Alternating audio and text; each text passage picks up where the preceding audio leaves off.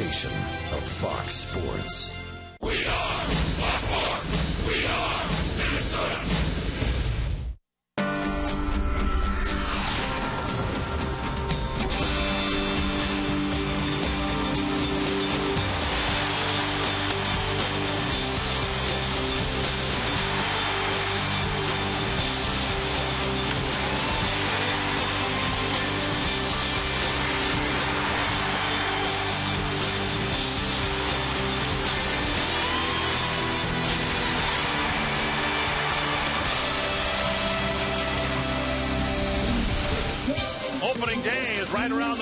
One month from tomorrow, the Twins are busy here at Hammond Stadium getting ready for the 2012 season.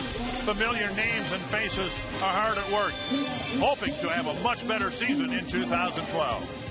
And we welcome you to Fort Myers, Florida. Dick Bremer along with Bert Blyleven. The best way to forget about a bad season is to start the next one, and that's what the Twins are getting done here. Yeah, this will be game four for the Minnesota Twins here in spring training in Fort Myers, Florida. One guy that has really worked hard all winter long to get ready for spring training is Joe Mauer. Also, Justin Morneau. Both of them playing very well so far. They've been consistent, and that's what the Twins need. These guys, Dick, need to be on, on the field for spring training, and we're going to see them both in the lineup tonight. A lot of familiar names are gone from the Twins this year, but some new faces and names come to the roster, including tonight's starting pitcher, Jason Marquis. Yeah, Marquis comes in with some pretty nice credentials. He's won over 100 ball games at the major league level, signing as a free agent. This guy, when he is on, he'll get a lot of ground ball outs. Well, the Twins would like to forget most of what happened in 2012 so would their opponent tonight, the Boston Red Sox. They got a few skeletons in their closet after what happened last year. We'll have a Grapefruit League game here in Fort Myers, Florida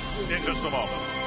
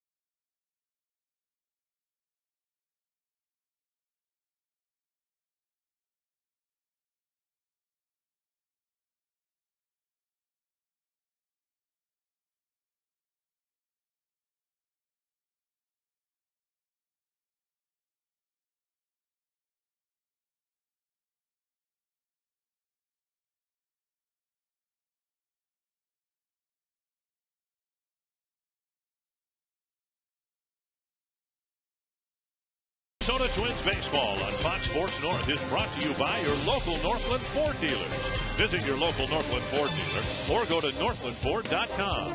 And by Menards. Save big money on all your home improvement needs at Menards. Twins have won two of the first three games so far in Grapefruit League play. They'll take on the Boston Red Sox here tonight. Nice to be back. It, it is good to be back. You yes. know, the players talk about it. I think the fans are excited to get the season started. I know you and I are, so mm-hmm. we're happy to be bringing you our uh, first spring training telecast tonight. And here's the Red Sox Menards batting order. Jose Iglesias leading off. Ryan Sweeney hitting second. Kevin Youkilis third. Yeah, first baseman David Ortiz hitting cleanup.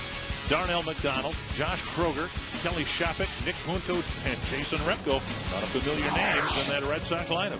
There's Jason uh, Marquis. Marquis, uh, 33 years old, signed as a free agent by the Braves, a former number one pick by the Atlanta Braves way back in 1996. This guy talked to Rick Anderson, a pitching coach, prior to Marquis starting to warm up. He said a lot of fastballs and changeups here tonight. Not too many breaking balls, just wants to work on control and then work on the changeup. Something you see a lot of spring training, especially early on, Dick. Veteran player, veteran pitcher like uh, Marquis will be working on his things through uh, spring training, working on his pitches. and Yeah, so far all the starters have pitched well. It'll be Scott Baker tomorrow and then Nick Blackburn. But uh, Liriano pitched two very good innings. Carl Pavano, two very good innings. Marquis right now scheduled to start game three in Baltimore if it stays in this rotation. And the Twins have gone this route before with veteran pitchers. A few years ago, Livan Hernandez had bounced around quite a bit. He actually pitched pretty well for the mm-hmm. Twins up until the All Star break. Yeah, Marquis, a former All Star. He's, like I mentioned before, over 100 games at the major league level. He's won. So he knows how to win. Jose Iglesias playing shortstop for the Red Sox, and he takes strike one. Tim Tschida, local boy, Twin Cities native, behind the plate for the uh, game here tonight. Iglesias, Sweeney, and Youkilis to get things started for Boston. And missing inside. One and one. Well, the Twins are the seventh different major league team and uniform that Marquis has has had on. The Braves, the Cardinals, the Cubs, the Rockies, Nationals, Diamondbacks. First time in the American League for Jason Marquis. Saw some uh, former twins in the uh, Boston lineup. They got a former twin on the first base coach's mm-hmm. box. Alex Ochoa is their new first base coach. Yeah, Ochoa was uh, with the Twins back in 1998. Some good years in the major league. Good to see him back up here as a coach. One and two to Iglesias. Swing and a miss. And Marquis might not get lead the league in strikeouts, but he gets a strikeout here tonight. Northland Ford Good location, Dick. Northland Ford defense for the Twins. And some of these names will uh, be in position uh, for the Twins uh, in the uh, opener in Baltimore. Doumit, Span, and Willingham across the outfield. Michael Hollimon at third, Dozier and Nishioka up the middle, Warno at first. And we've got a Joe Mauer behind the plate. Doumit new to the Twins, and he might see some time in left field, and he might see some time behind the plate. He won't see time in both positions in the same game. He's quick, but not that quick. Here's Ryan Sweeney.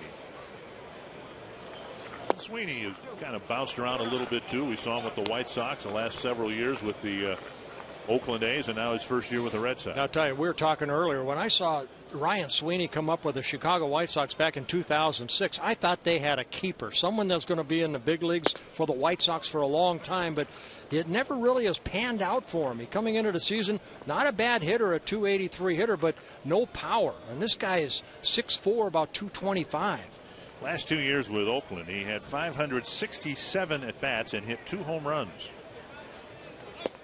Cedar Rapids, Iowa native. Three and one now from Marquis to Sweeney.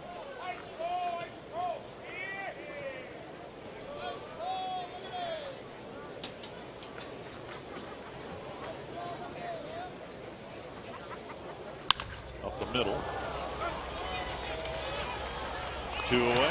Good play by the shortstop Dozier. Yeah, I think Dick, you know, going into spring training, that's the biggest question here. Not only we talked a little bit about the open, about the health of these players, but who's going to be the shortstop, who's going to be the second baseman, the strength, what Ron Gardenhire wants to really establish here, wants guys to step up, and who's going to be my shortstop, who's going to be my second baseman. So important. And a ball like that, as routine as it was, you just want the confidence on the field and in the dugout that a ground ball when it leaves home plate is going to be turned into a just make the routine right. play, and we didn't see that last year on a consistent basis. Here's Kevin Youkilis. Dozier might get a chance to play at short this year for the Twins. Jamie Carroll's played the first couple days here. He won't be playing tonight. You saw Nishioka over at second base, where he started the year last year. One strike to Youkilis. And now a ball.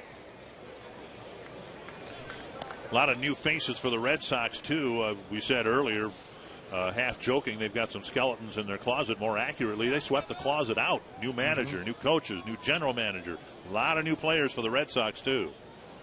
Well, one guy that can flat out hit is this guy right here, Kevin Youkilis. He had an off season last year, but came in.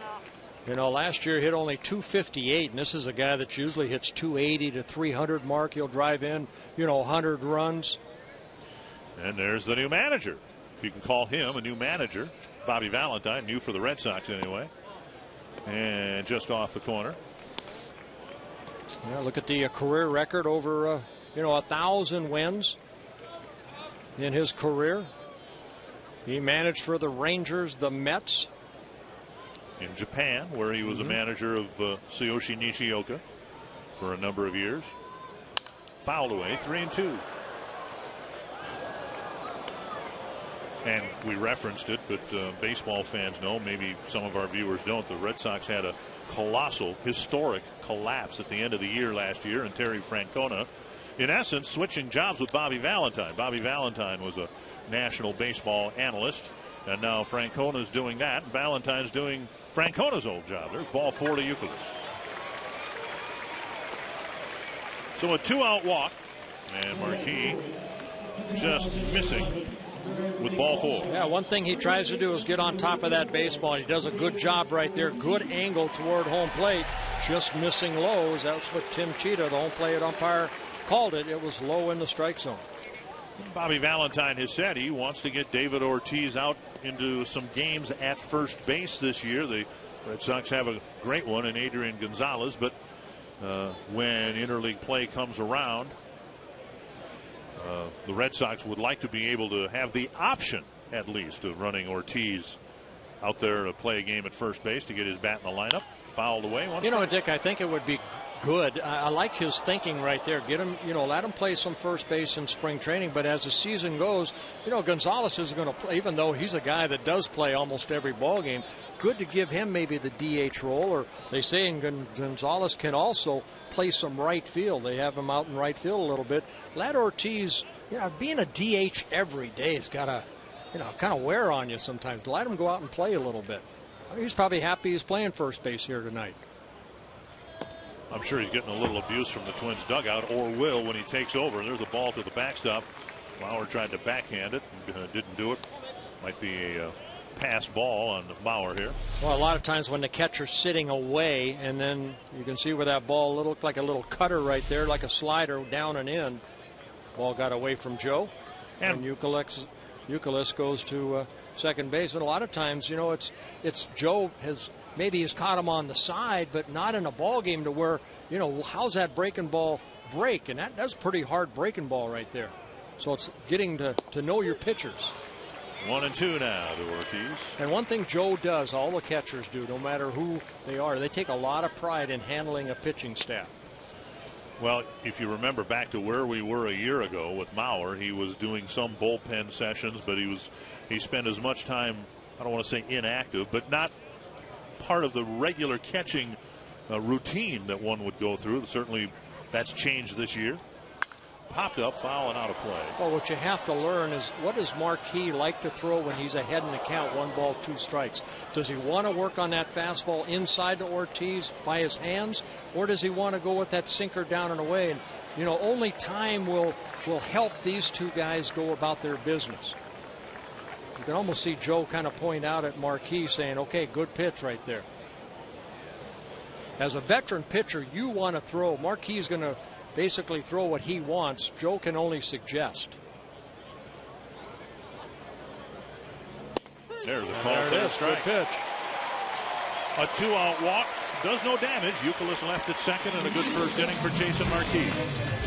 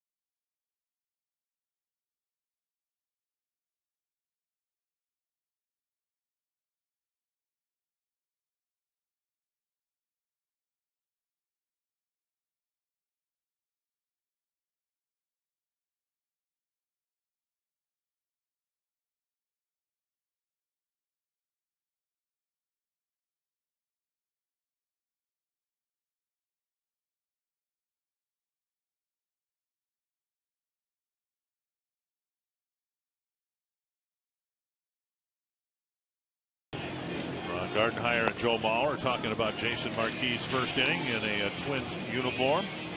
And Gardy and the coaches have uh, tried to buckle down here a little bit. Uh, they've had a little extra time to work on some fundamentals. The Menard batting order tonight. Denard Span, Tsuyoshi Nishioka, Joe Mauer, Justin Morneau, Josh Willingham, Ryan Doumit, Luke Hughes in the lineup, Brian Dozier, and Michael Hollimon. And on the mound for the Boston Red Sox, it'll be Clay Buchholz. Buchholz had a frustrating year last year. He's six and three, but right around June, that back acted up for him, and he ended up missing the rest of the season. A guy that the White and Red Sox are really counting on this year. One thing that Dick that they need, they need good starting pitching. They have Lester, they have Beckett, but that three, four, five spot, they're hoping that Clay Buchholz can get to where he was a couple years ago when he was an All-Star and a 17-game winner.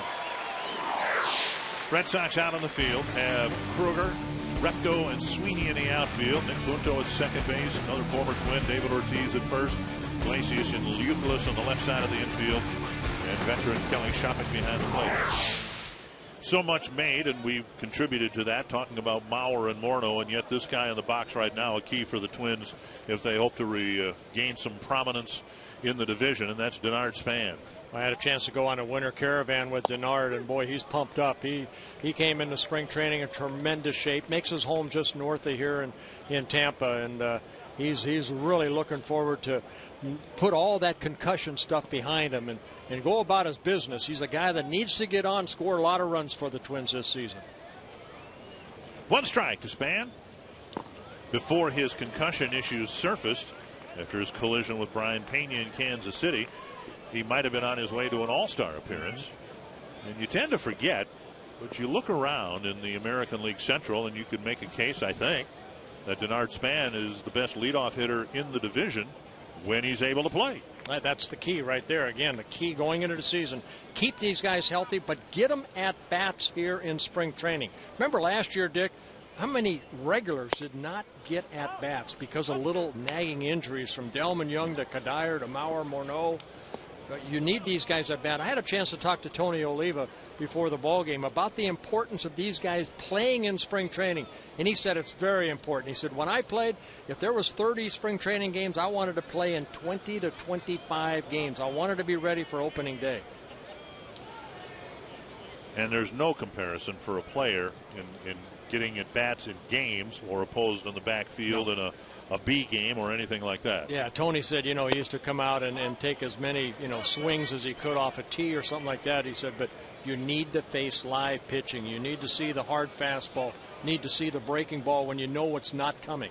And in Denard's case, you need to work at bats, and we've seen him do that here. It's two and two when he is on his game, and really the, the strength of his game is seeing a lot of pitches and going deep into the count. And he takes ball three. And that's a good leadoff hitter. It just shows everybody else what Buchholz has had to throw so far. Five pitches into this at bat. Buchholz still a youngster, 27 years old in his sixth season with the Boston Red Sox.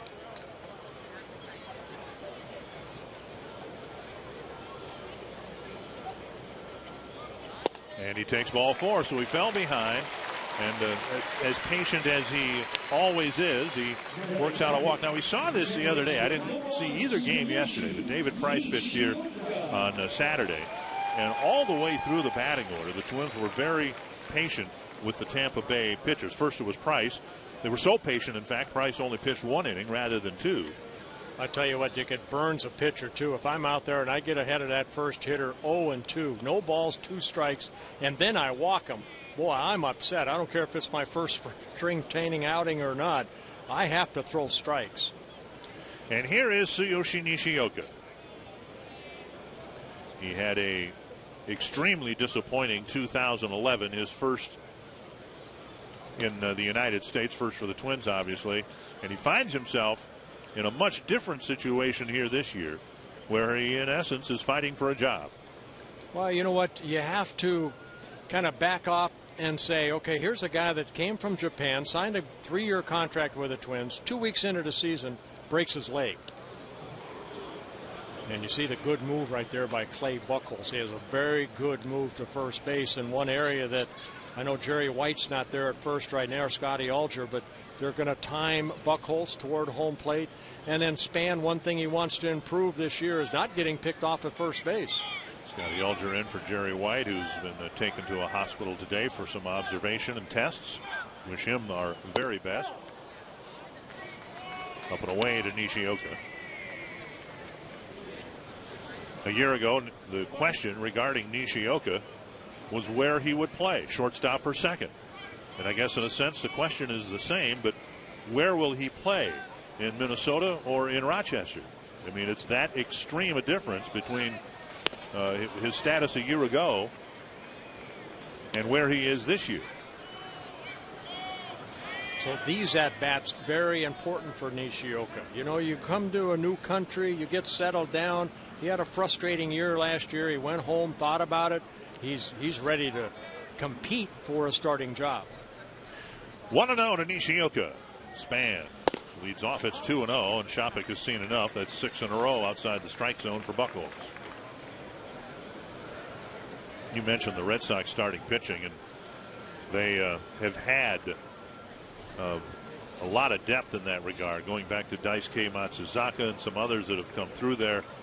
But uh, they are blessed to have three top shelf starters in Beckett, Lester, and this guy, if he can stay healthy, figures to be right in there with them. Well, they're hoping that John Lackey would be that fourth right. starter, but he's out for the year with the Tommy John surgery. 2 0 to Nishioka. And now 3 0.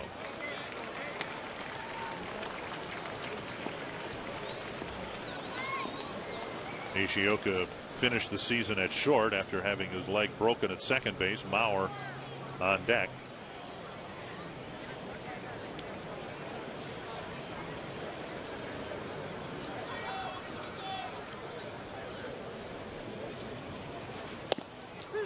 and three and one. Nishioka looking down at Steve Liddle, a third base coach, maybe getting maybe Span running right here. Buchholz fighting with his control will probably throw a fastball right here. This is what you try to do in spring training. Try to get the players moving. Try a couple things. This is a time to do it. Twins have worked very hard with Nishioka on his swing, particularly from the left side of the plate. What they've tried to do with Nishioka, in essence, is keep his head still, particularly again from the left side of the plate. He tended to have an awful lot of upper body movement over the course of his swing.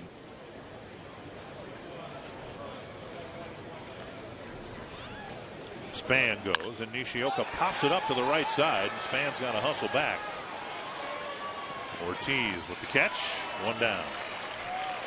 Well, it looked like they put a little hit and run on right there. That's the time to try it. Try to see what he could do. But except, except Nishioka got a pitch, but he popped it straight up.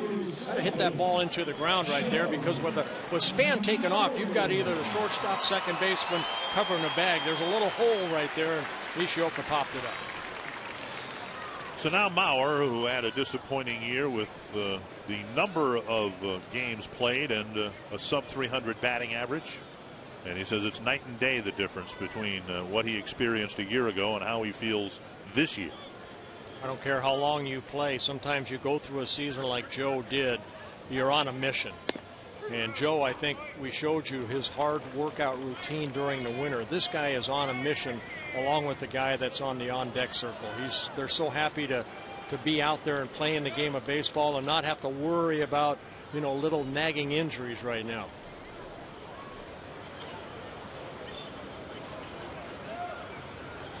One strike to Mauer. And a lob to first, span back again.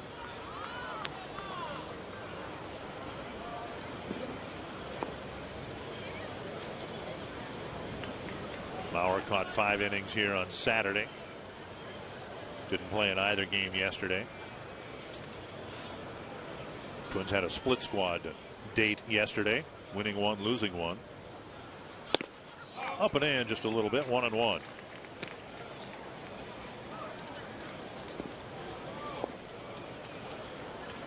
Buchholz a little wobbly with his control here early on. Yeah, a lot of pitches up in the strike zone, just trying to overthrow right now. Buchholz, outstanding stuff. He has four quality pitches, but everything keys off the fastball. Got to get the fastball down in the zone. Check swing. We think they'll appeal. No, it's a check swing, two and one. Well, looked like he took something off right here. Joe able to keep those hands back and the barrel of the bat back.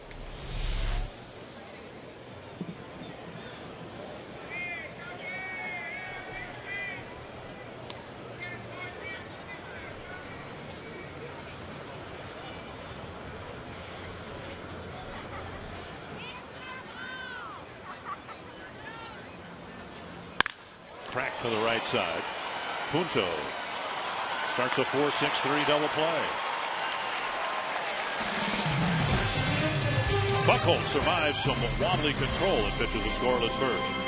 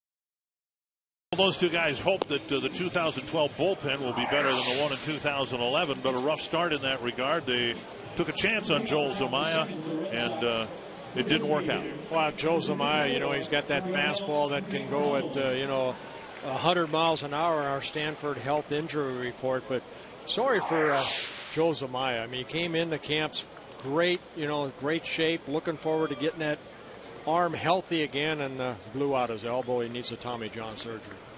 Debated for a while whether to even go through it. He spent so much of his career rehabbing uh, one arm injury after another, and uh, he decided to go ahead and go with that and to get the procedure done. Here's Darnell McDonald. I'm glad he is. He's only 27 years old, so this guy, you know, I mean, you come back. It takes a long time to come back from the Tommy John, but hey, if it's still in your heart to compete, go ahead and try it. Just got to wear on you, though, doesn't it? I mean, you oh. spend so much time with one serious injury after another. Remember, he broke his elbow against the Twins at Target Field a couple years ago. There's a chopper, and that's past a reaching Hollimon at third base, and McDonald will glide to second. Now the ball gets by the left fielder, and McDonald will go to third. Doumit couldn't pin the ball into the corner, and McDonald will stand at third with a leadoff double and a error on the play by Doumit. Anytime an outfielder has to go down into that corner, you want to get your body in front of it and make sure it stays in front of you. See right there, he just didn't get that glove down and got through the wicket, and that allows McDonald to go from second to third. Josh Kroger will hit with McDonald at third. Twins, of course, playing the infield back here in the second inning.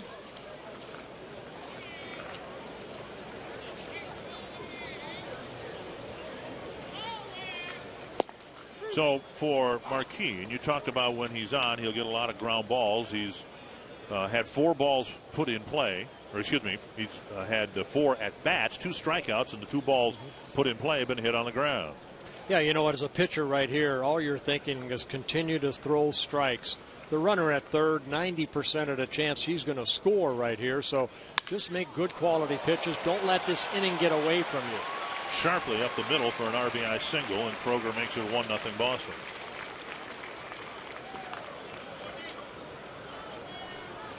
Well, it looked like they tried to go in on Kroger. It didn't go in far enough. See, a ball came back right there over the heart of the plate. Ball down, but Kroger, good piece of hitting right back up the middle, picks up the RBI.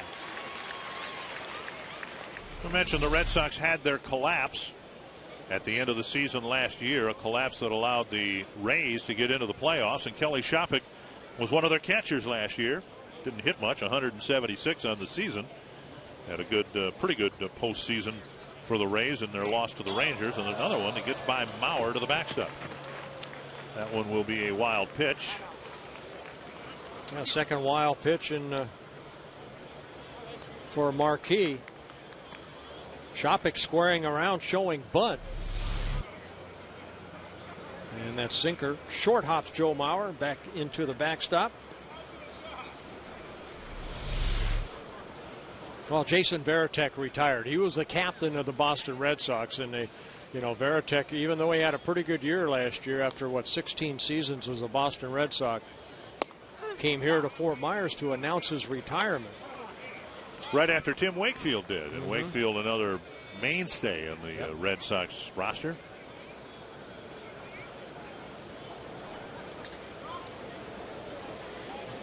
One and one to Shoppach. It's kind of a homecoming for Shoppach. He originally signed with the Boston Red Sox back in 2001. Off speed pitch missing. It's two and one. Played for the Red Sox in 2005 before going over to Cleveland, where he spent four seasons, and then the Rays for a couple years.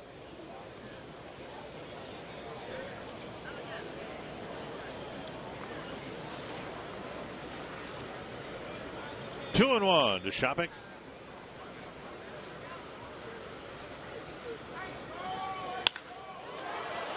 And that's over the glove of Dozier into left field.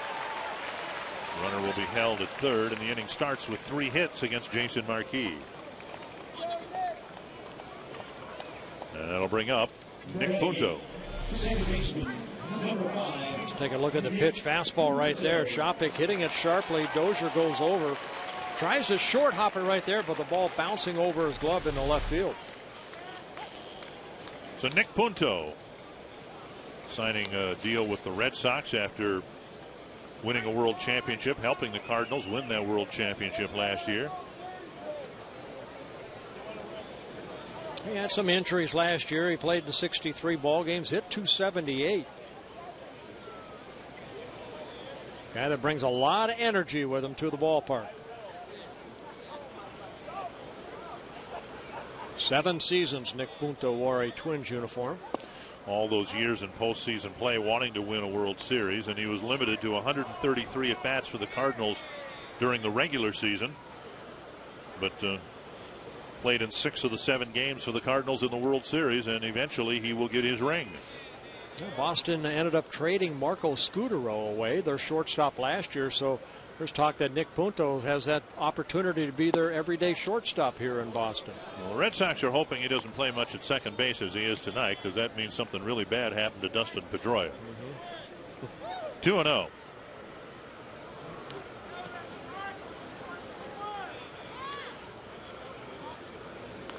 2 0. Punto played for the Twins in the playoffs in 2006 and 2009.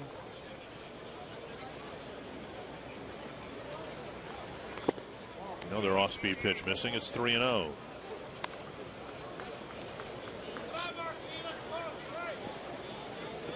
Spring training is about strengthening your arm. 20 pitches in the first inning, 12 in the bullpen. The max for Marquis was going to be two innings, and he's having a tough time in this second inning. There's ball four, and they're loaded up. Weekdays on Fox Sports North, it's the Dan Patrick Show. Exclusive guests, including high profile athletes and celebrities, breaking sports news, unparalleled insider access, pop culture commentary.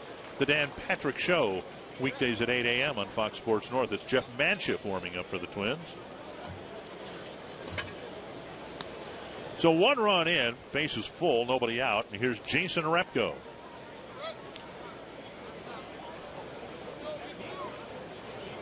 Repko, a utility outfielder for the Twins, and he'll have an uphill battle trying to win that spot for the Red Sox. Marquis starts up high.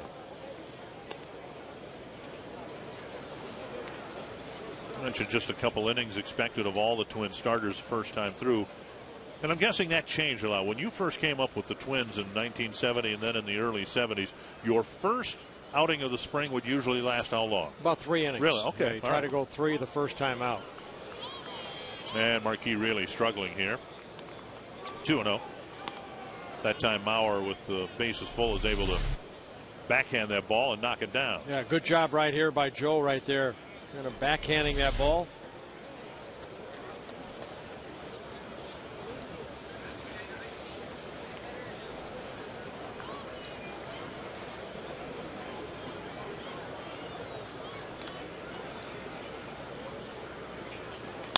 Repko. And they'll get one, and not two. Fourth play at second base. Repko gets credit for a run batted in with Kroger scoring.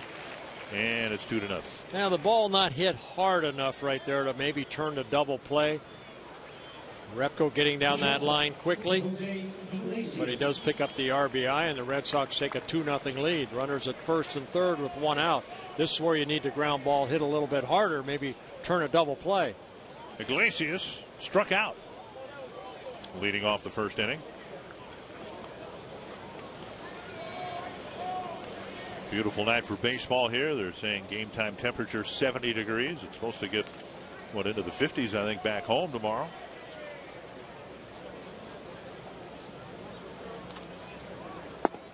Sinker low, ball one. Sure, You didn't have much snow at all, no, did you? we didn't. You know what? I I uh, I got uh, uh, almost through the winter without using my snowblower. I got till February 29th, the day before I came down here, and I never even had to fire up the snowblower. Unbelievable. One and zero to Iglesias. Runner goes. Mauer throws through. That's a stolen base for Jason Repko. Well, tough play for Joe Mauer. Good strong throw, but he had to short hop this pitch from Marquis, but still made a good throw.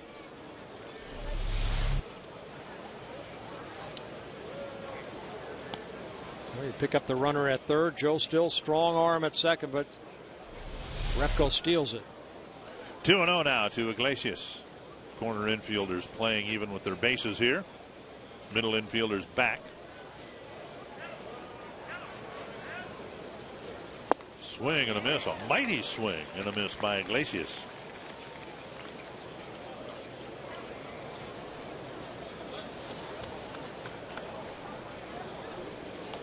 Rick Anderson hoping that Marquis can buckle down here, but in all uh, would be surprised to see a pitching change made if Marquis can't get Iglesias or the next batter.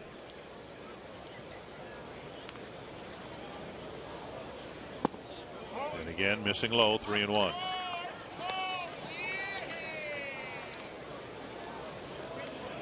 With Ryan Sweeney on deck. You can see right there, too many balls to strikes. Total of 40.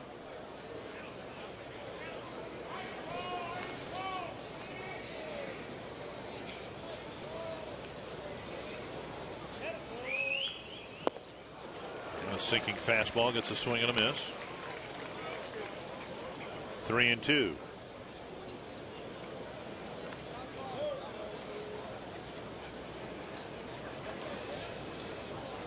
Sweeney on deck. Well, you almost have to go back in again with that sinker. He struck him out in his first at bat with that good sinker inside. A couple swings and misses so far on that pitch inside to Iglesias. Iglesias only 22 years old, defecting from Cuba, signed by the Boston Red Sox in 2009.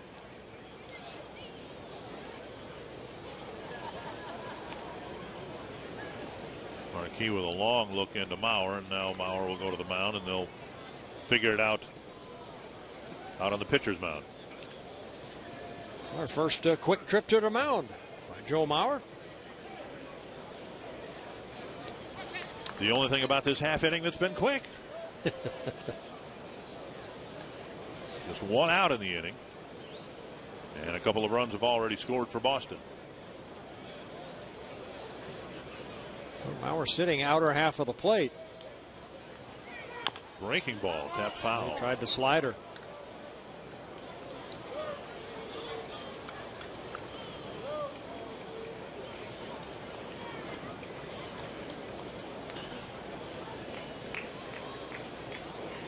Struck out on four pitches in the first inning at bat, and now in his second inning at bat. He's seen six and will get a seventh.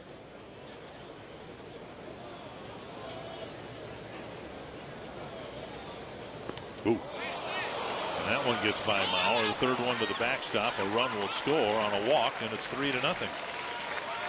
Another wild pitch, and it's been a rough inning here for Jason Marquis. Yeah, three wild pitches so far in this ball game for Marquis, trying to keep that ball down, but that ball getting away from Joe. Tried to backhand that rather maybe trying to get his body in front of it. All the way back to the backstop.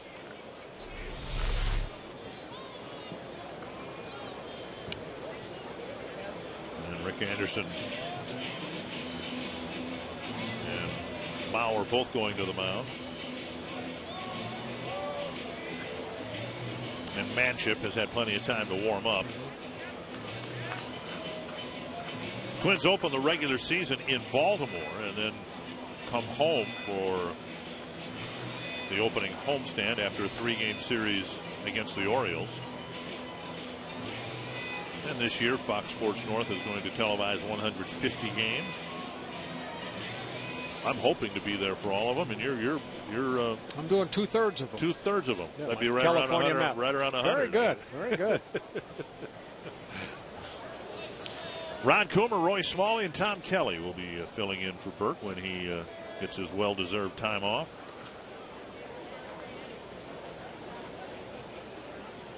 And Sweeney takes a strike on the outside corner. good changeup right there. And we've seen Marquis do that. He's missed with that changeup a few times in some key spots. But again, that's the point of all this is to get out there and develop command in those pitches. See, I, I liked working on certain pitches, but I wanted to get the guy out. I didn't want to throw 50 pitches in two innings. Just outside one and one. Well, Marquis he really hasn't been on the mound since August, middle of August of last year. He was pitching a game for the Arizona Diamondbacks when he got hit by a line drive back up the middle and broke his leg. Started the season with the Washington Nationals, then got traded over to Arizona. Made only three starts for the Diamondbacks. Runner goes and the pitch hack foul. So Remzi Kiratli coming into the booth. Our traveling secretary, probably wanting to know our, our plans this year. I don't have any yet. You do. You're going back and forth. You're going to be flying all over the country, aren't you? Taking time And off. Remzi, And, Remzi takes good care of all of us. yes, he does. Make sure the buses are there. Make sure the plane lands on time. One and two to Ryan Sweeney.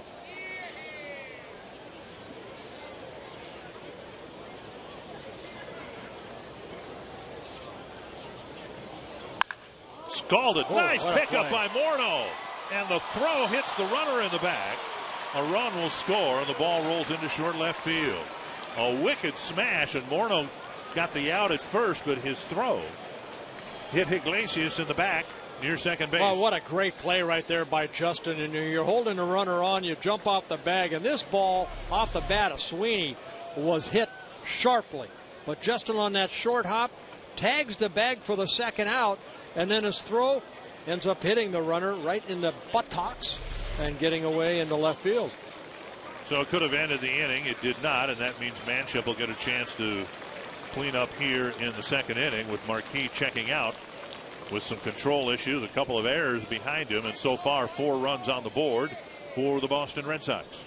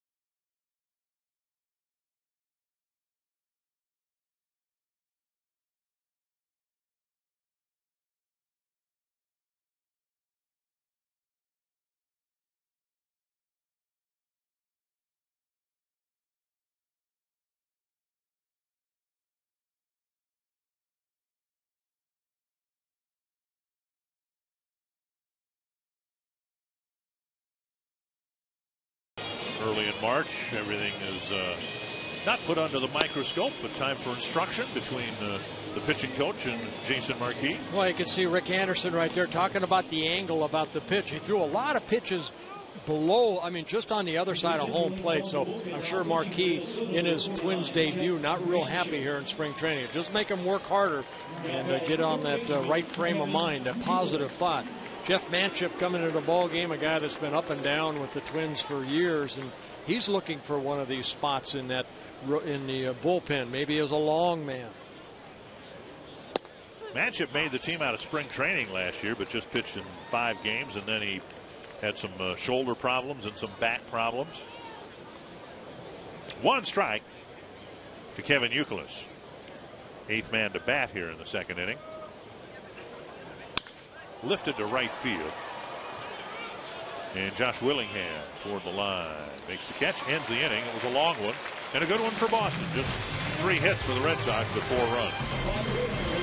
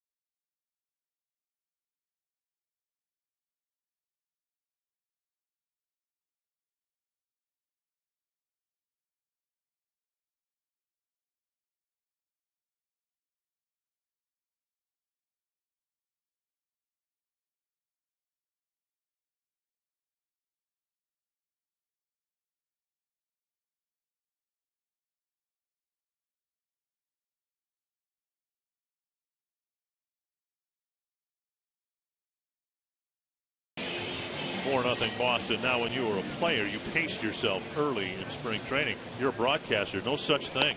Man, No. we're, we're jumping right into a day game after a night game. How about that, huh? what were they thinking? I'm looking forward to going over to Port Charlotte tomorrow. Yeah, I am too. Yeah, I uh, I didn't have it written in my contract. I uh, guess you didn't either. We'll, we'll both be there at noon tomorrow. Yeah, and then the Yankees come here uh, Sunday, next right. Sunday. Yeah. Then we go to Lakeland later on. That's uh, uh, I'm going to Lakeland. I guess you got that written into your contract. You're not going to Lakeland. Yeah, I'm not allowed in Lakeland. It goes back to 1972, doesn't it? Here's Justin Morneau. It's been, uh, as he told me today, so far so good for Justin. He's uh, played well. He played six innings here on Saturday. He's gone through everything as uh, you would hope he would, and uh, has uh, felt fine so far. One and zero. Bounced foul. You know, little I know about concussions, I think, Dick, but what we've learned is that the focus. Talking to Denard Span during the winter caravan about what a concussion does, but it's the focus. Look at that play that he made off the bat of Ryan Sweeney. That takes a lot of concentration right there, and what he's doing right here in the batter's box, trying to pick up that ball off of the, the hand of Clay Buchholz and then react to it quickly. That's the things that, that Justin was fighting. That word you used, react. I think baseball, uh, you know, certainly it's a game of strength. It's a game of speed, but it's a game of reaction. Whether you're pitching on the mound, you're catching, you're playing first base, or you've got a split second as to whether to decide to swing to the, on this pitch or not. And Morneau lines it foul off the tarp. You know, I always thought that the, one of the hardest things of any sport is to hit a round ball with a round bat and hit it solid. And good swing right there by Justin going down, but lining it foul. Two and two to Morneau leading off the second inning. Willingham and Doumit will follow.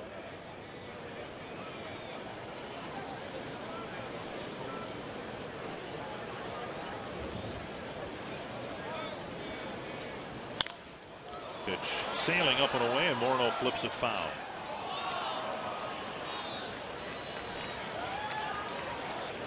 Morneau limited to 264 at bats. He had an assortment of other physical issues last year. But uh, again, so far, so good.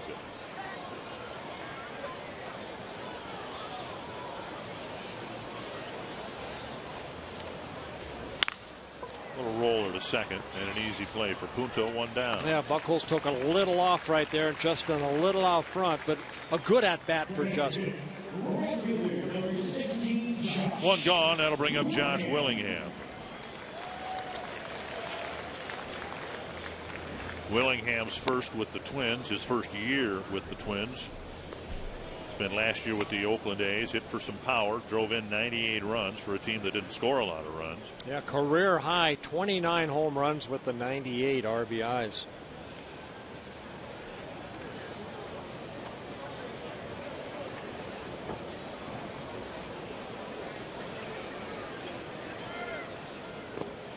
Asked him today what uh, exposure he had to Minnesota, Minnesotans. And he said he played uh, in the Northwoods League when he was in college, came up and played in Minnesota in Austin. The uh, mini mini bats or whatever the team was, they, they're not around anymore, but he played in Austin, Minnesota for a number of years. Yeah, played his college ball out of the University of North Alabama, makes his home in Alabama.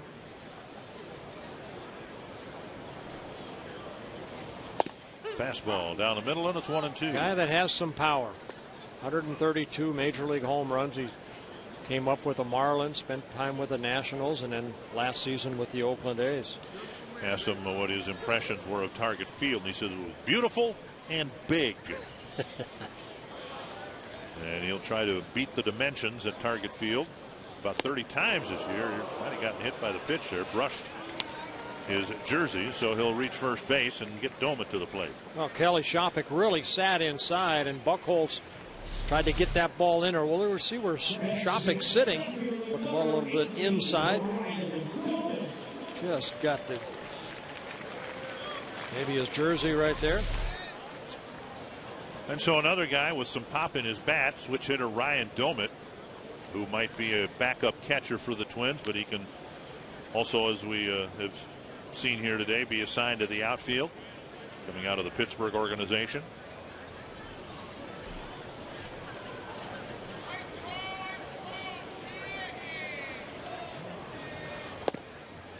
You know, one thing the Twins have had in the Mauer era is a backup catcher who was considered a defensive catcher, whether it was a, Mike Redmond, Drew Butera, certainly the Twins ended up losing a lot offensively when Joe was not behind the plate. If Doumit sticks as a backup, maybe not the only backup, but a backup, the drop off offensively won't be as severe. Yeah, he's had some injuries over his career. He ended up breaking his ankle last year for the Pittsburgh Pirates, his left ankle. But uh, this guy can flat out hit. A switch hitter, good power from both sides of the plate. Played in 77 ball games last year and hit the 303. One and one to Doumit.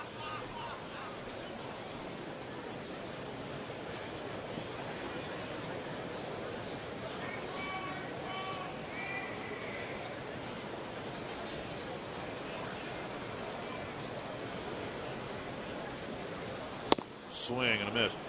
You might be able, just in looking at Doumit's numbers at the end of the year, and where his at bats came from. If the bulk of his at bats come out of the DH spot, that probably means the Twins had a pretty successful season because that will necessarily mean that Mauer did the bulk of the catching, or so it would figure, and Morneau was at first base for most of the season. Let's hope that happens.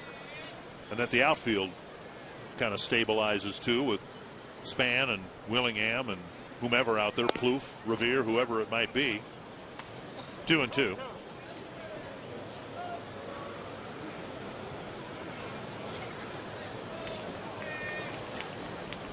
We have had a lot of walks, two of them issued by Buchholz, three of them by Marquis. We've had wild pitches, and we have had a snail's pace going on so far here tonight.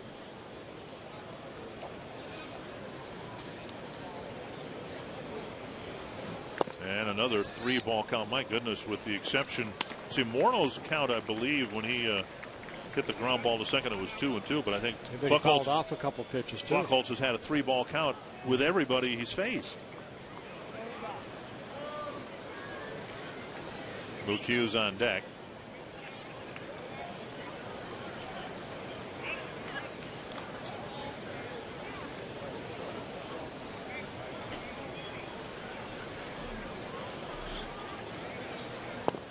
Uh, Doumit draws a walk. Well, Buchholz got away with his control issues in the first inning by getting uh, Nishioka to pop up on a 3-1 pitch and getting Mauer to bounce into a double play on a 3-1 pitch. Now a pair of one-out walks gets Hughes to the plate with two men aboard.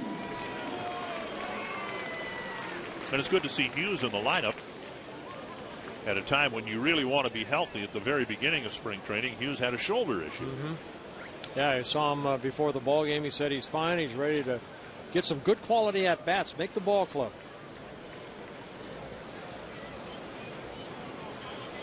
Hughes is the designated hitter. Hughes injured his shoulder in Australia in a home plate collision.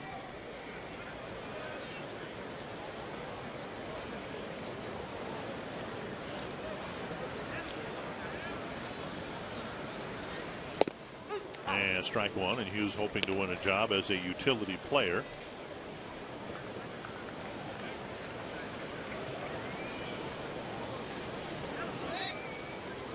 One strike to Hughes.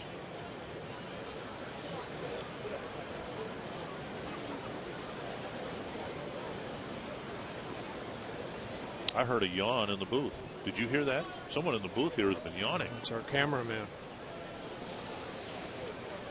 Certainly was not us. No.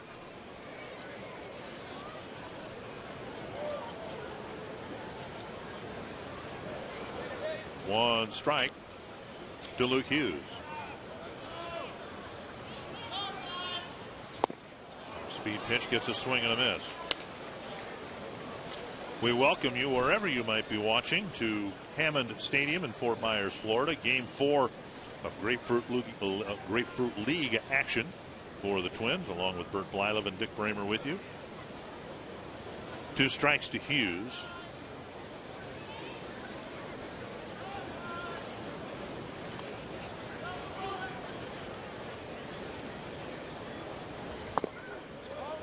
And inside, one and two. Hughes with some pop in his bat. Will need to hit for a higher average.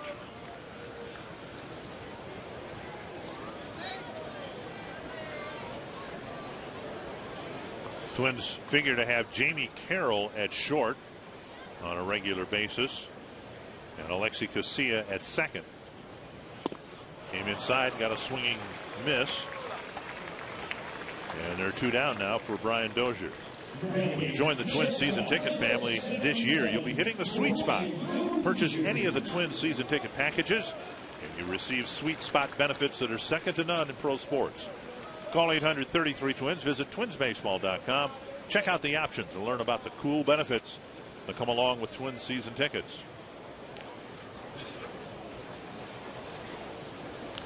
And Brian Dozier, who hopes to emerge out of this spring training as a promising middle infielder for years to come with the Twins. Now, it is up for debate as to what his best position will be. Last year, he played well at second. He played well at short. He gets the start here tonight at short. Yeah, Twins minor league player of the year last year. One strike. high fastball and fouled it back. Two strikes.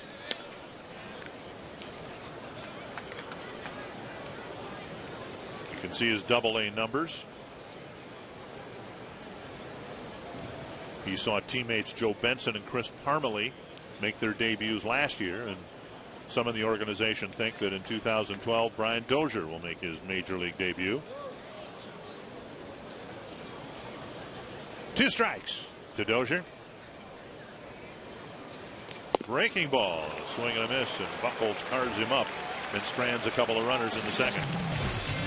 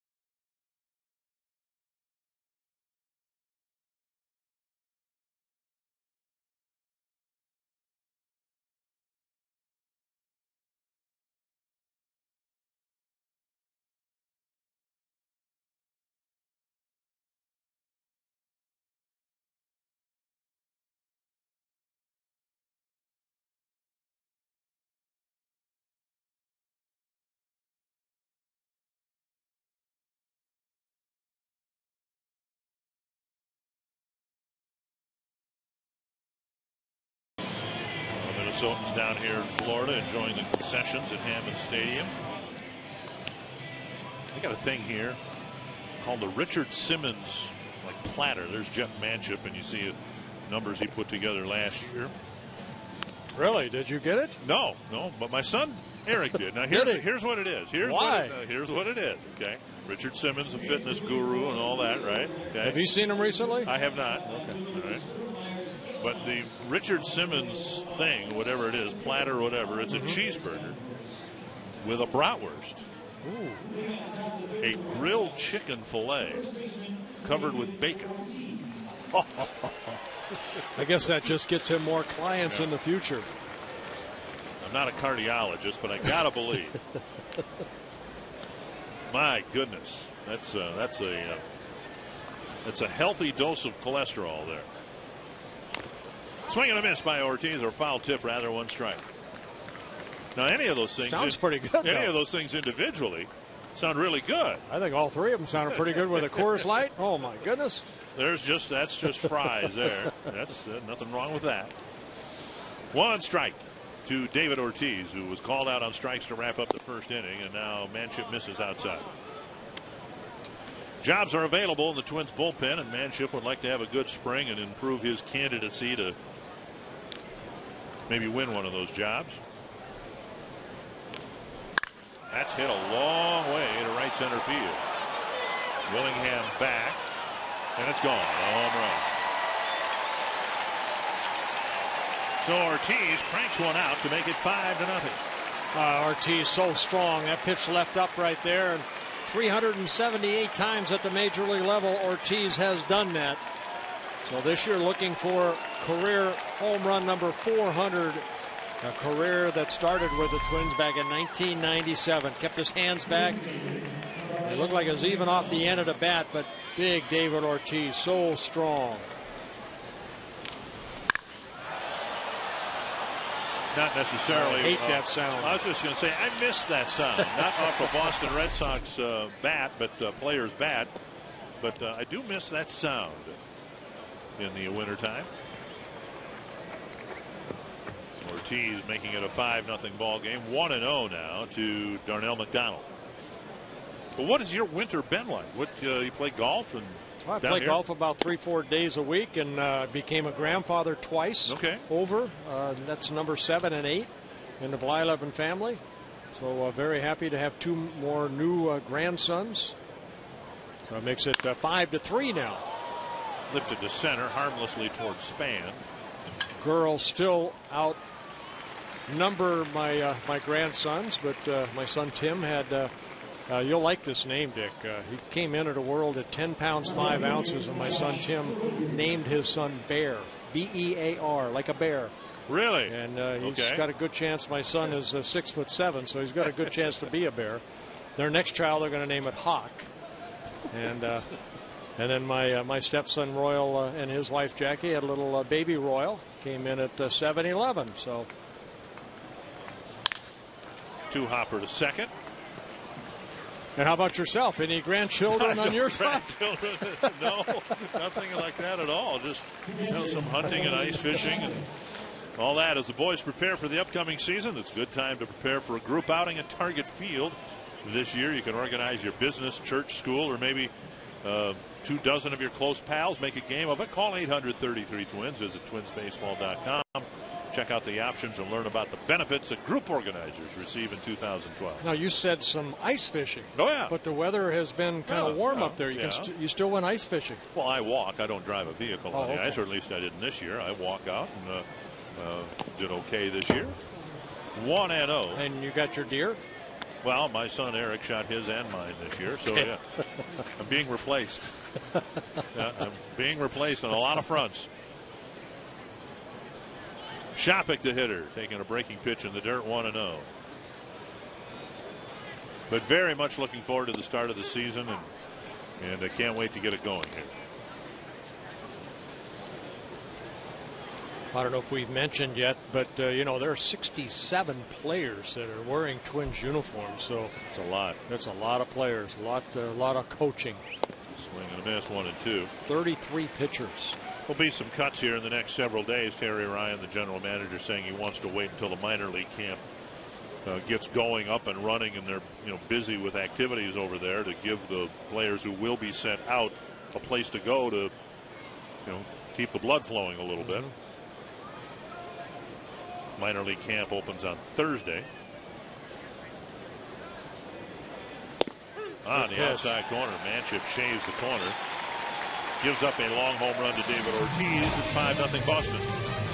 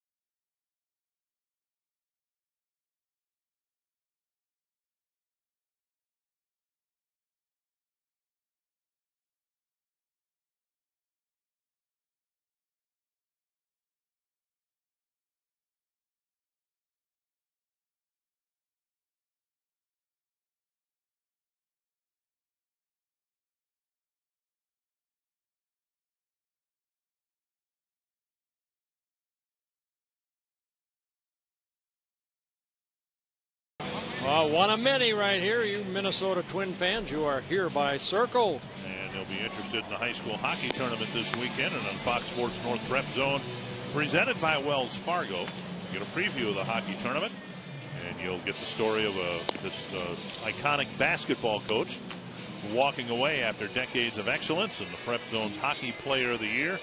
Fox Sports North Prep Zone tomorrow at 6:30, only on Fox Sports North.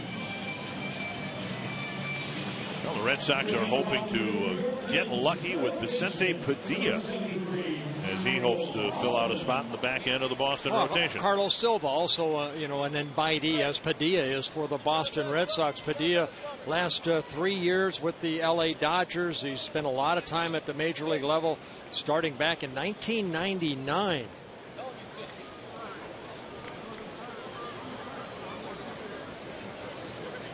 And he will face Michael Hollimon leading off the third inning. Fastball down the middle, a strike. Hollimon getting a chance to play at third base. Of course, Danny Valencia will be there most of the year. Nothing wrong with Valencia. He uh, out of the starting lineup, not playing tonight, but he worked late this afternoon, almost uh, almost till game time, taking the ground balls at uh, third base with Tom Kelly over on field five and working on uh, his fundamentals at third base. Up and away, two and one. Yeah, Mike Hollimon, he came over a couple years ago, signed with the Twins as a free agent. Has some major league time, and they have to go back to 2008 when he came up with the Tigers. He played in 11 ball games, hit a home run, drove in a couple runs. Foul back. The last thing the Twins want, of course, is to go through a year like last year where so many regular players were injured. But nevertheless, you need to develop depth behind the Valencias of the world. In case something were to happen, you need to have somebody who can step up and play the position. And that was uh, one of the shortcomings last year. Players went out, less so for Denard Span. Ben Revere did a representative job Yes, he did. uh, in the outfield in Span's absence. Two and two to Hollimon starting the third inning. And he takes a call, third strike. That looked like a little cutter right there and kind of froze Hollimon. And Padilla comes in and picks up a strikeout. Take a look at a pitch right here. Might have been a split finger. Just kind of hung there. So you've had veterans Buchholz and now Padilla cut through the bottom third of the Twins batting order, getting three strikeouts of far less experienced players like Luke Hughes, Brian Dozier, and Michael Hollimon. Back to the top of the order now, and Denard Span.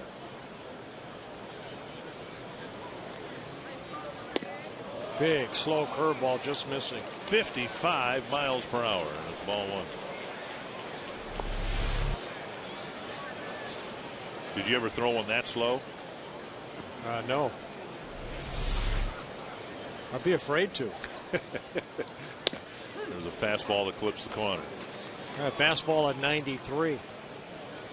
Knee high on the outside corner. Now, Padilla, 104 major league wins, 90 losses. He started 237 major league games.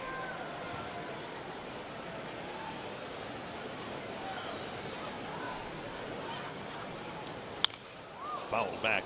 The middle of the 2009 season, he was, shall we say, excused by the Texas Rangers. They owed him a lot of money. They decided to pay him off. And he was picked up by the Dodgers and actually pitched pretty well for them. Went 4 and 0. Seven starts.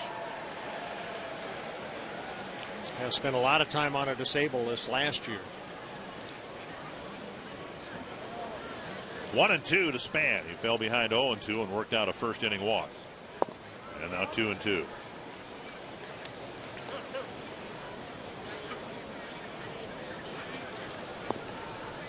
Twins don't have a hit yet. They did take three walks against Clay Buck, uh, Buchholz.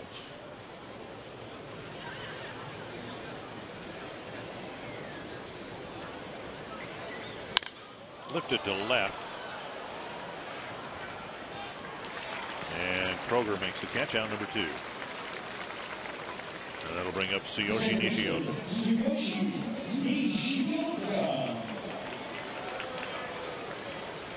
So two gone in the third. Nishioka on a 3 1 pitch hit a pop up to David Ortiz his first time up.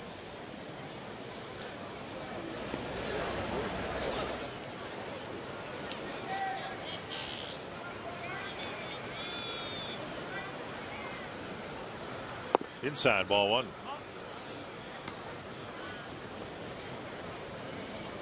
Nishioka signing a three-year deal with the Twins before last year.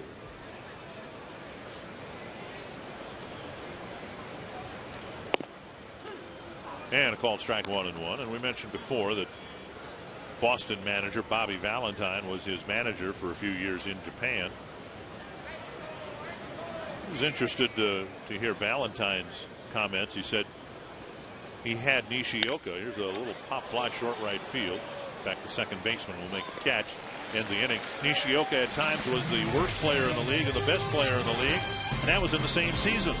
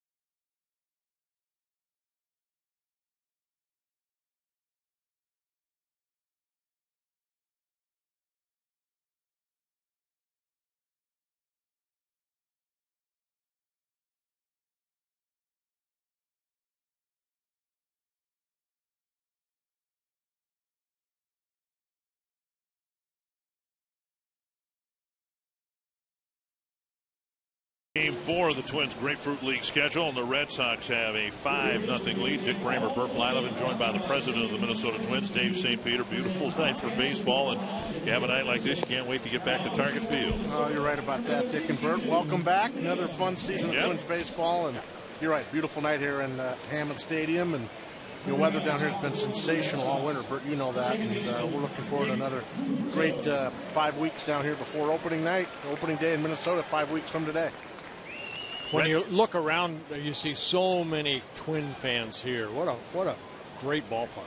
Yeah, you know we're, we uh, you know we weren't really sure what was going to happen with our attendance with uh, the Red Sox new JetBlue facility now being down in South Fort Myers, but we're well north of 100,000 seats sold for the season, and we're uh, we're really excited that the fact that I think sellouts will once again be the norm here at Hammond Stadium. You know, their new ballpark, I drive by it every day. I'm staying uh, out in that general direction and uh, about 10 minutes east of here. What, if anything, does the, the construction of that new ballpark mean for the Twins and their facility here? Well, I think it, it certainly establishes a new precedent within Lee County, uh, and, and, and I think that, you know, in and of itself has motivated the county and the Twins to have, a, frankly, a lot of discussions about the future of this complex. You both know in 1991 when this complex opened, it was considered by most uh, around baseball to be the model facility, and many of the new complexes in Florida and in Arizona have been modeled after the Lee County Sports Complex. So we now have a, the task to work with the county to make sure that it, it continues to be a state-of-the-art facility for the next 20, 25 years, and that's the discussions that we're having right now with the county. Now I've read that they're talking maybe about some added seats here.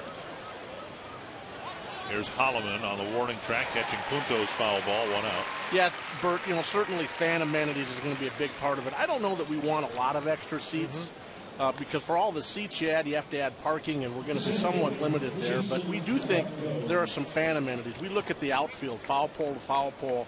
There are some opportunities we think to do some things there to allow fans to maybe move 360 uh, degrees around this ballpark, much like they do at Target Field. Food and beverage opportunities, some different uh, um, things around merchandise and retail. And then, of course, there's a huge focus on player development. You know, what can we do to make sure that this continues to be a competitive advantage for our for our ball club at the major league level as well as the minor league level. Now, one thing, Dave, I know that there are three main fields in the minor league complex. Of course, they have one here that's adjacent to the ballpark here, where they call Field 5, but the county has done a good job of purchasing some property to maybe add another field or two for the minor leaguers. Yeah, we you know we have more, than 200 guys in, uh, in, in camp. So mm-hmm. you know, frankly, this year we're actually using some of the fields over at City of Palms, mm-hmm. which is the, the, the, the of course the complex the Red Sox have vacated to move to JetBlue we'd like another practice field. That's a big priority for us, uh, as well as obviously just all of those modern amenities around training and hydrotherapy and um, those things that I think have been pretty standard now across Major League Baseball. Well, I know over at Jet Park, that's what they're talking about. Their their training facility, a weight room, something that uh, you know back when this ballpark was built, you know weights weren't as yeah. well, and we added in baseball. And as you know, we added a, a major weight room that now both our Major League and minor league uh, group share. But you know, I think we, would like to ultimately see uh, more of that, and, and, and, perhaps have a separate room for the major league guys versus what goes on at the minor leagues. Liam Hendriks, a Twins pitcher, former Twin Jason Repko in the box, two and two, the count, one down. Dick Bremer, Bert Blyleven, joined by the president of the Minnesota Twins, Dave St. Peter. Hendriks made his major league debut in 2011. And now three and two. Well, David, we mentioned right off the top the uh, regular season opener is a month from tomorrow in Baltimore, and then three games at Camden Yards, and then uh, the first homestand. Albert Pujols and the Angels opening right. up the season this yeah. year. Yeah. Ball third strike, two down. You know, uh, you know. Obviously, if you look at our schedule early, it's uh, it's not easy. We're going to see a lot of good teams, and I think that's good. You know, we'll we'll sneak up on some people, I'm sure, and obviously uh, we're excited to, to have the third year at Target Field, April 9th the home opener, and uh, you know who better? Let's jump into the deep end of the pool against Mr. Pujols. And then the Rangers, the World Series representative from the American League the last two years. Exactly, and uh, of course the Red Sox come in in April as well, and um, you know it's uh, it's going to be exciting.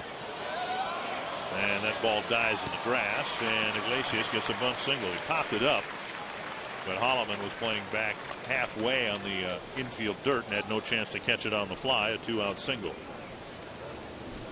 Well, as you know, Dave, it all comes down to good pitching. And, uh, you know, the Twins have to get off to good pitching at the beginning of the game. Iglesias showing off his speed right here. Good bunt.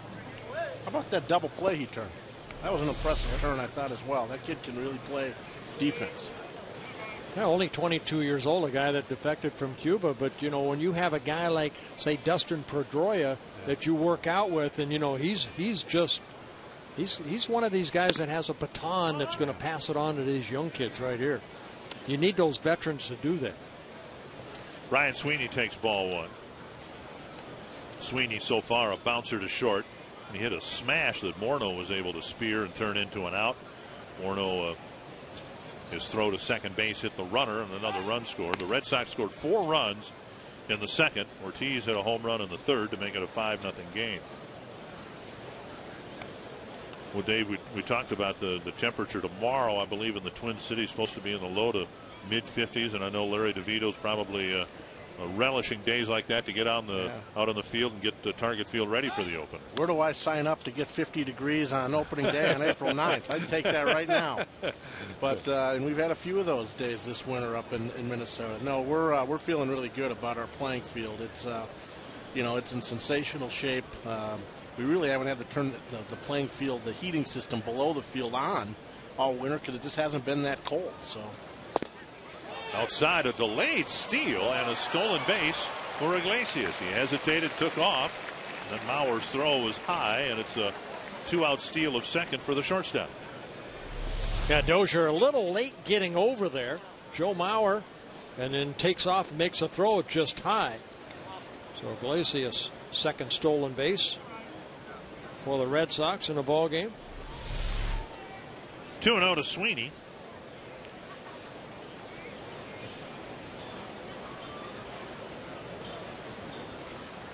And now down and in 3 0, Youkilis on deck. Dave, how are the uh, ticket sales at Target Field? You know they're good, Bert. You know, I, you know, I think uh, the, the, the ballpark experience speaks for itself. Clearly, we were disappointed what happened on the field last year, so we weren't really fully certain what to expect, but you know we renewed at 85% on our season tickets, and we're going to end up at probably about 23,500 full season equivalents, Oh, which great. will put us in the top six or seven of all Major League Baseball. And as of uh, this morning, we've sold more than 2.3 million tickets for the 2012 season. So we're really excited and very thankful. Our fan base uh, really has emerged, in my opinion, as one of the the better baseball fan bases uh, around the around the league. Now I know, you know, after the first year at Target Field, there were some changes made to Target Field, like the batter's eye. You know, players I know they wanted the fences in, but is there anything that, say, after the second year, that the Twins have improved on Target Field? Well, nothing really around playability. You're not going to see the fences. The pitchers also wanted the fences moved out, Bert, so let's be honest in full disclosure. But, you know, some of the changes we made this year are more subtle. They're around things more back of the house. Uh, we're always working to improve the food and beverage operation there, both from a service perspective as well as many new items. So it's been another fun winter of taste testing, and I'm excited to report we're going to have a host of new items uh, to announce here at the end of the month that I think will continue to make Target Field probably the best place to eat around Major League Baseball. I'll tell you what, it's already a great place to eat. We talked about that Richard Simmons platter that they have here. Now, Yeah, have I'm you gonna heard about it. that? You know, but we, no, we got, they got a thing here. It's a cheeseburger, a grilled chicken sandwich, a bratwurst, uh, and bacon, all in, in one bun. Oh my, oh my! I don't know about that. Three and two.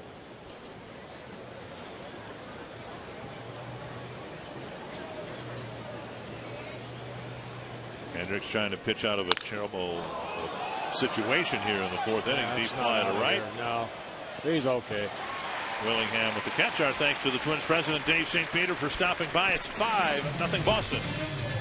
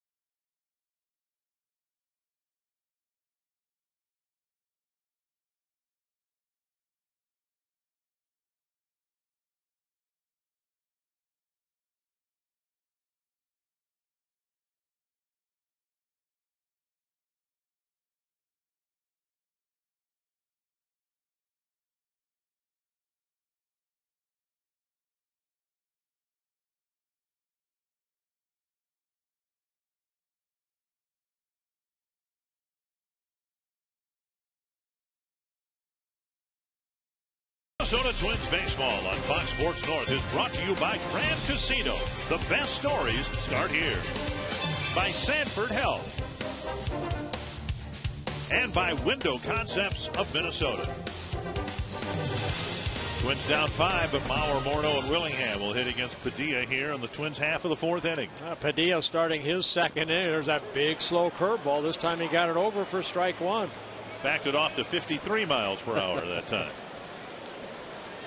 We saw Livan Hernandez. We mentioned him before. He had that very slow breaking ball he would uh, throw at times. One strike to Mauer. On a fastball down and in in the low 90s, one and one. Mauer bounced into a double play to wrap up the first inning.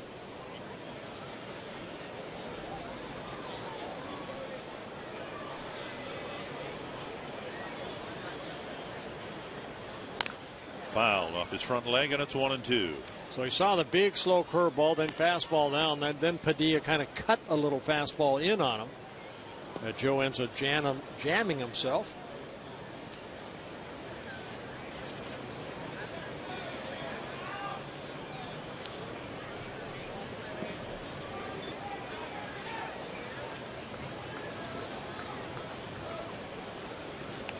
One and two to the Twins catcher.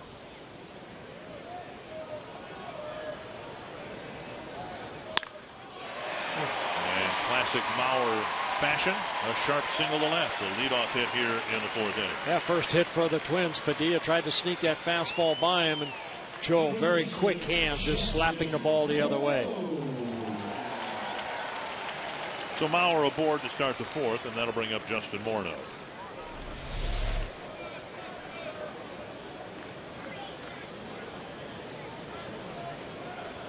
Morneau hit a ground ball to second in the second inning.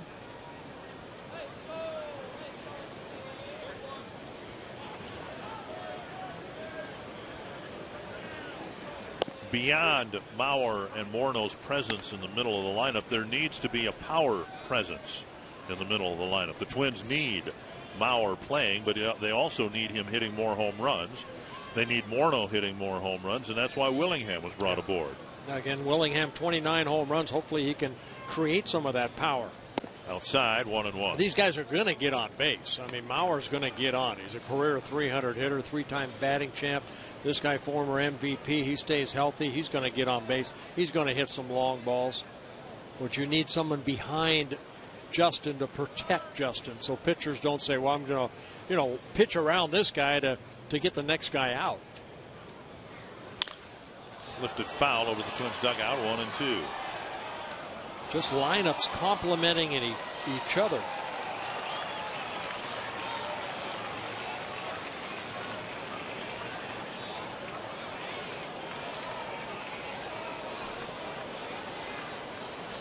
Mauer got a single after falling behind one and two. We'll see what Morneau can get done here.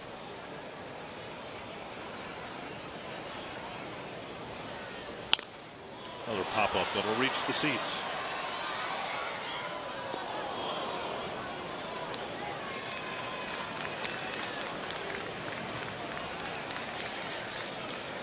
So far, the only lingering issue for Justin involved the, the wrist that he had uh, surgery on last year. He still has some numbness on his uh, pinky finger.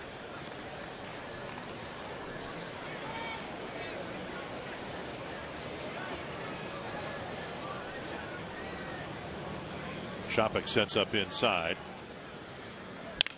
And Morneau cracks his bat and pulls it foul. So they got it in there enough to crack his bat. Oh, he went in with that slider right there, not the fastball, the breaking ball, and Justin hit it foul. You know, the Yankees tried it last year when they brought in uh, Garcia and Colon. You know, with Boston right. losing Lackey and probably Dice-K, they're giving guys like Padilla, also Carlos Silva, an opportunity maybe be that fourth or fifth starter. Guys that, you know, are out of basically their careers. They have to step up again and see if they can, uh, again, compete at this level.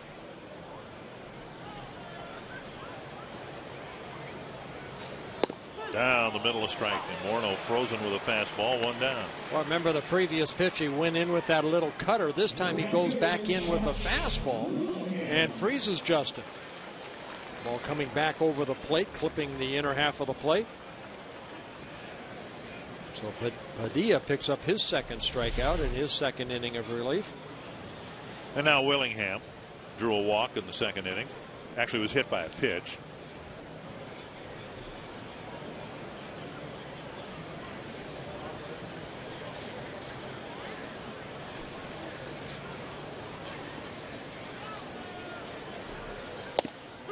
And a fastball on the outside corner. Willingham uh, some would say replacing Michael Cuddyer in the Twins lineup, but he's taken Jason Kubel's number. Yeah, you know what? I think about Willingham when he does, and I, when the home runs he hit in Oakland, also at Target Field, are down the line. And, you know, that's the place that the Twins feel that Willingham, that's where his power is. He's a pull hitter that has power down the line.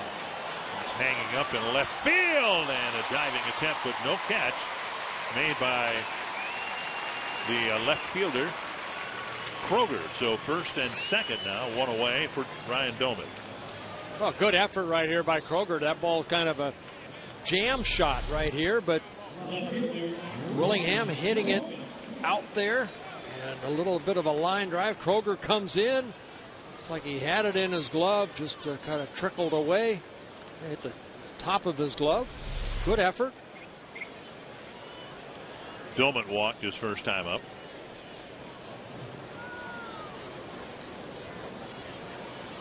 Twins trying to get back in the game with one swing of the bat. Doumit, as we mentioned before, a switch hitter.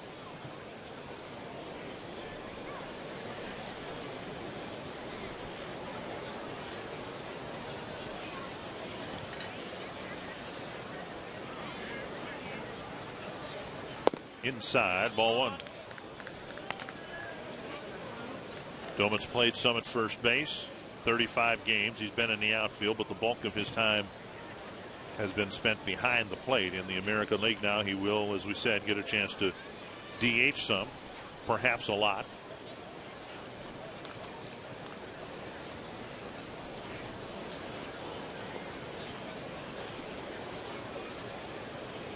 Career high 15 home runs with the Pirates in 2008 when he hit 318 in 431 at bats.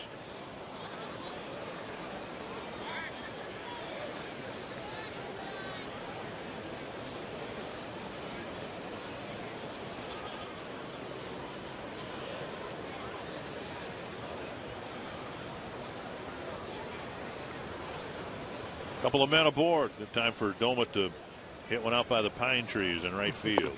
Up and away, and it's 2 0.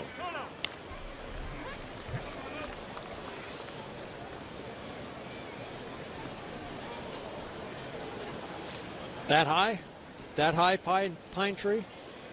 Or palm tree? 2 and 0 to the Twins left fielder. Tapped foul.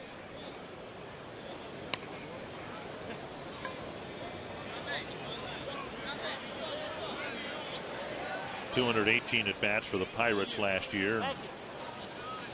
21 extra base hits. That's a number I always look at.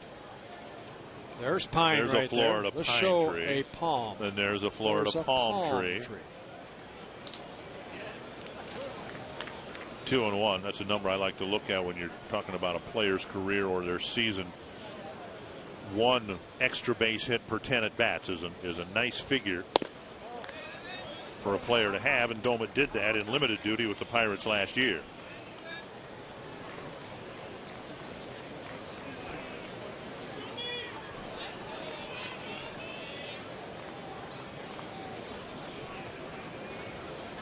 Three and one. Twins threatening to get their first run here in the fourth inning.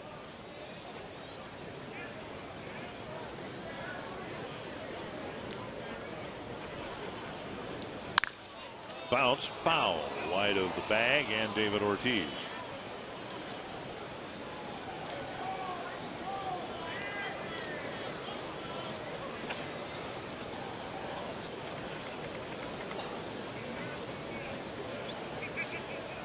And Wants a different baseball. Twins facing the Red Sox. And as Dave St. Peter said, Red Sox will come to Target Field in late April.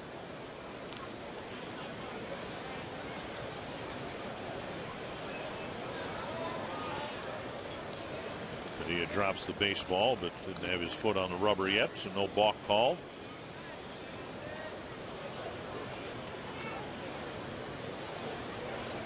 And Doumit stands in. Another 3 2 pitch coming. Line into center field. Mauer will go to third, and he'll be held there. The bases are loaded. So good at bat for Doumit. He crunched it and lined it past Punto into center. Now the Twins have the bases loaded with one down. Yeah, Mauer had to hold up at second base because Nick Punto went for that ball and it just got over his glove. Doumit going out, getting a pitch outer half of the plate, but lining it back up the middle. Now watch Punto right there. That's why you have to hold up. Once that ball got through, then Joe takes off, but he had stopped at third by Steve Liddle. Twins had a one out threat going in the second inning, but then Buchholz struck out Hughes and Dozier, and those are the next two batters scheduled to face Padilla here with the bases loaded and one out. Hughes went down swinging for out number two. Dozier went down swinging to wrap up the threat.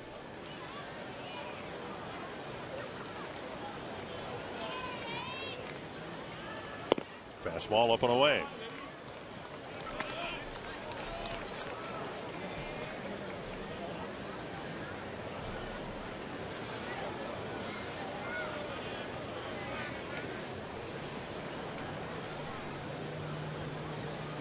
There's Dozier on deck. Belt high strike, one and one.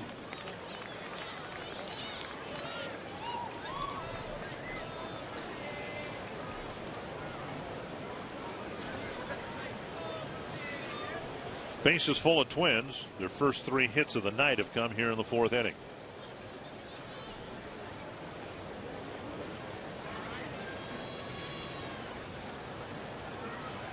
Popped up in foul ground. Ortiz tracking it. Out number two. And Dozier will have another chance this time with the bases loaded.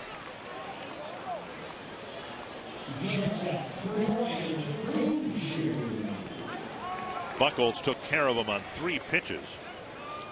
Dropped a curveball. The last pitch Buchholz would throw here tonight. Dropped a curveball on the outside corner to strike him out in the second. Uh, that was a good curveball too, and I think that's the only curveball that Buchholz threw his two innings worth of work.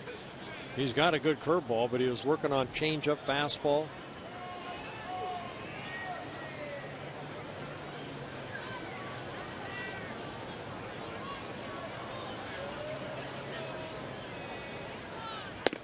Up high, ball one. So again, under the premise that Dozier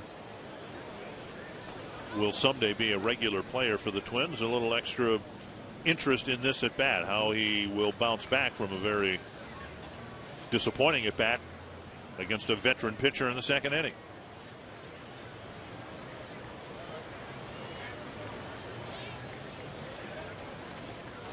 Up high. Oh, I beg your pardon. A called strike one and one.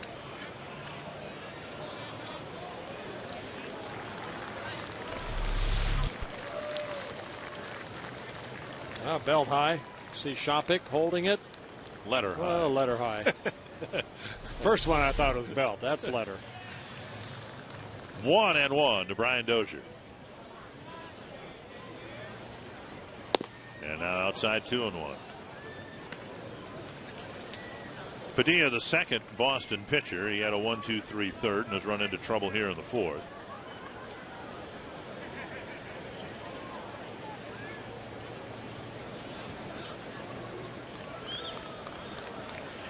Mauer, Willingham, and Doumit have all singled here against Padilla.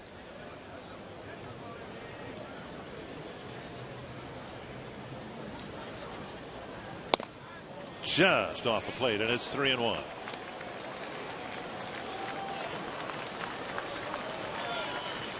Ah, Dozier should get a good pitch to hit right here. Ball just outer half of the plate. Shoppach trying to hold it. Tschida saying it's outside.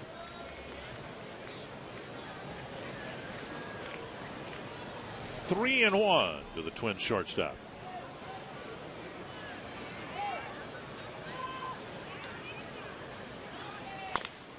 Tapper to third. And Youkilis slings it across. Close play. I tell you what, Dozier almost beat that out. But the Twins leave the bases full in the fourth inning, and it's still 5 0 Boston.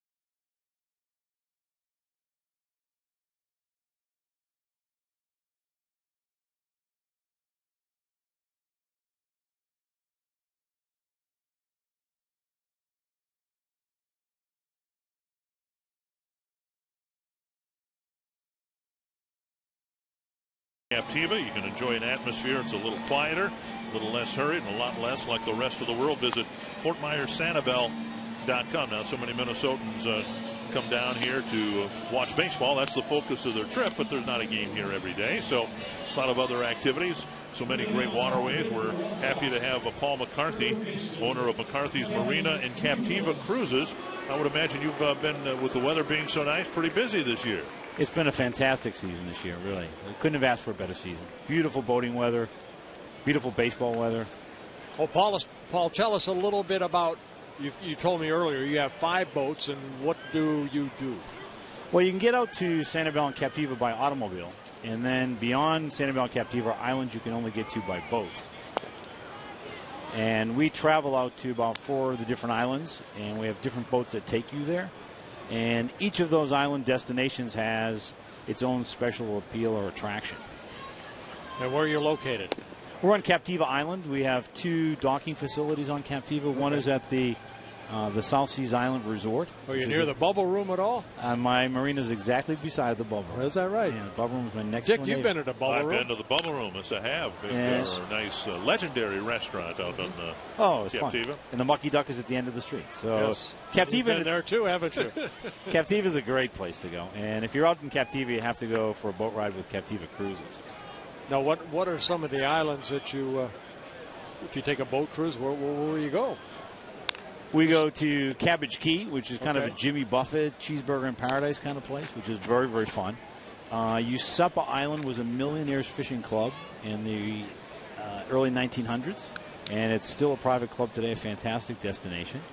We go to Cayo Costa, which is a state park, wilderness island, which is fantastic for shelling and going to the beach. We go out to Gasparilla Island, to Boca Grande, which is a beautiful little town. We do a trip over to Pine Island, uh, which is across Pine Island Sound from us, and we do a whole program over there. So we travel to a bunch of different islands, and we do sightseeing, dolphin cruises, sunset cruises, sailing cruises.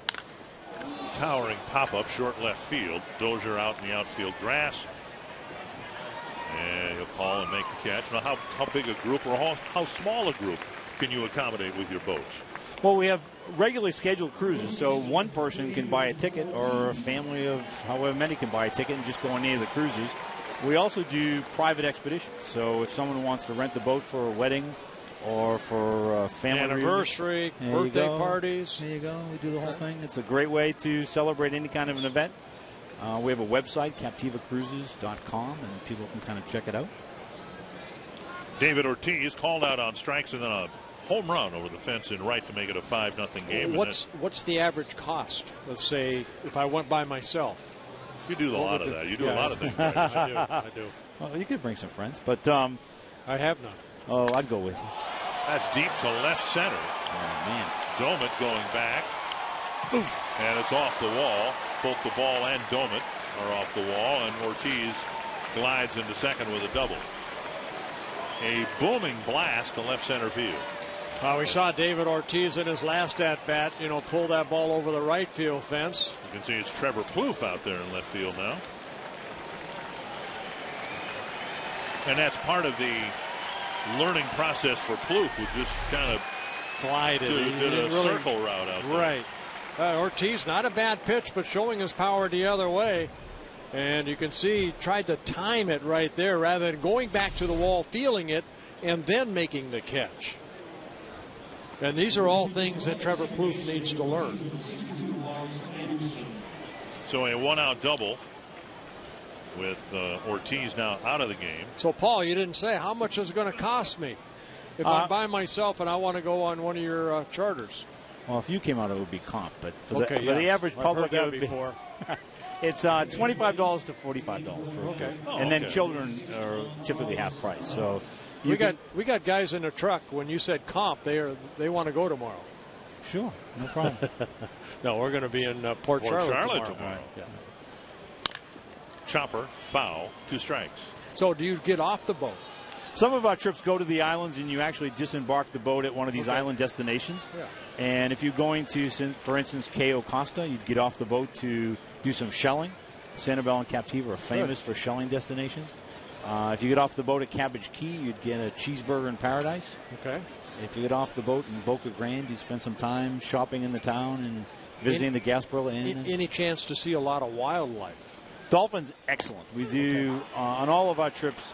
Uh, you're likely to see dolphins jumping right beside the boat. It's one of the big attractions of Sanibel and Captiva Islands. We have maybe 300 resident bot- bottlenose dolphins that live here year round, and uh, on any of our excursions, you're likely to see the dolphins in the wild jumping beside the boat. It's quite a sight, I'll tell you. Very nice.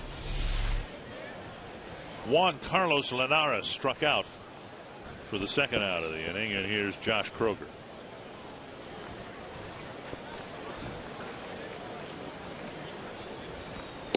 And there's strike one. Kroeger on the night, a single and a run scored in the second. Then he bounced to second in the third.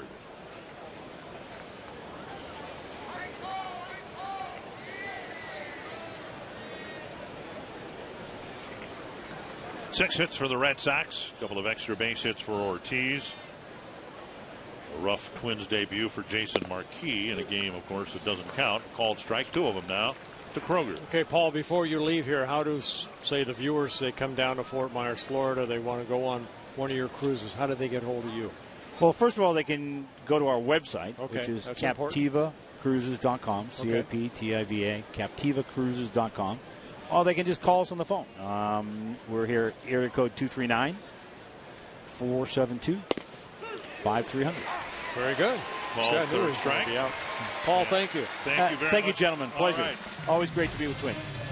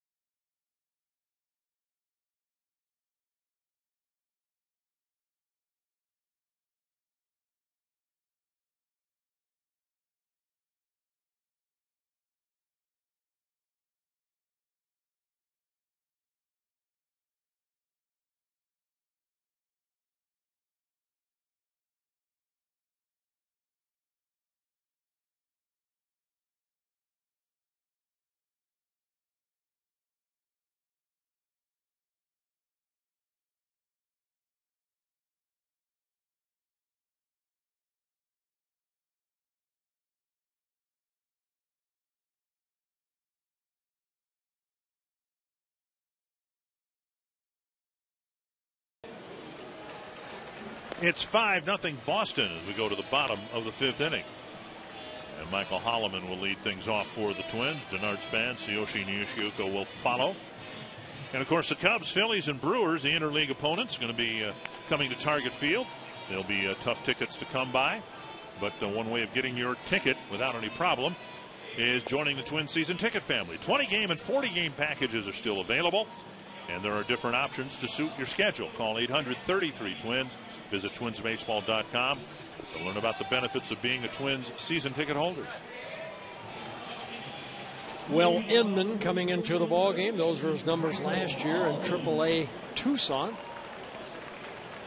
That in the San Diego Padre organization, signing with the Boston Red Sox as a minor league free agent over the winter. Hollimon, Span, and Nishioka due up here. We would expect uh, all the regulars to get three at bats. Ooh, wicked shot up the middle, and Hollimon drives the first pitch of the inning into center.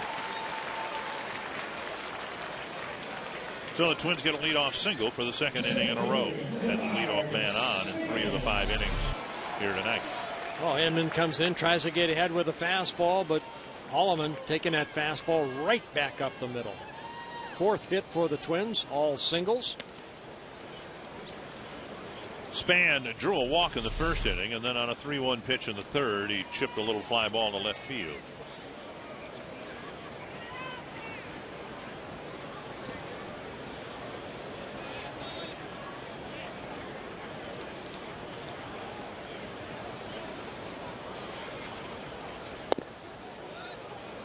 And Span takes ball one.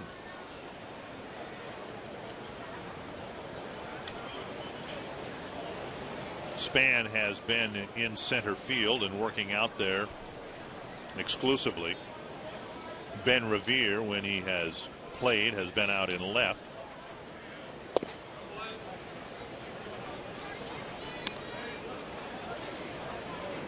Both have an awful lot of speed and a lot of range, but neither has much power. No, that's not their job. You know, their job is to get on base and score runs, create havoc on the base paths if they can. It's a little nubber, Oh, and that's, that's going to be a base hit.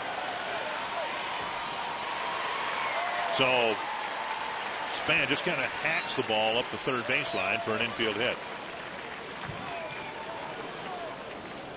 And Span will be lifted for a runner here. Rene Tosoni will sub for him.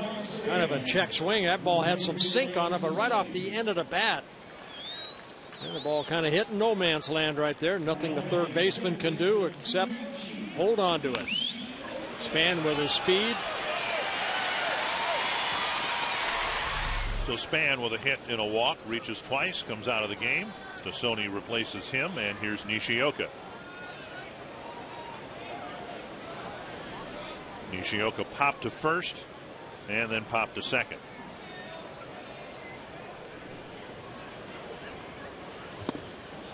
Ball one.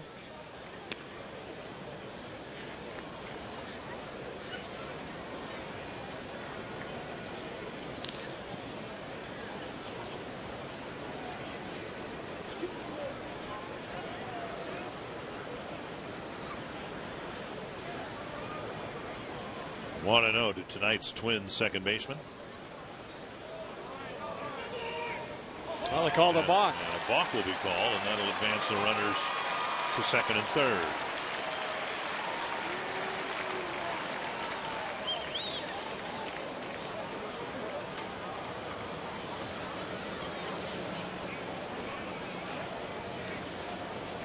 Let's take a look what Inman did right here. He came set. Yeah, he tried to he take dropped his, his hands. okay, tried to take his uh, back foot off the rubber and may have done something. He moved his hands before he put that right foot off the rubber.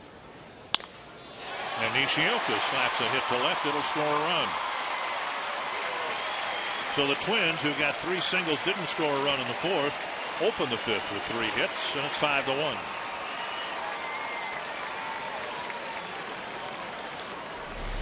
Well, Nishioka at his finest right here. Just watch this pitch. Not a bad pitch, but Nishioka just dropping the barrel of the bat and lining it past the third baseman into left field.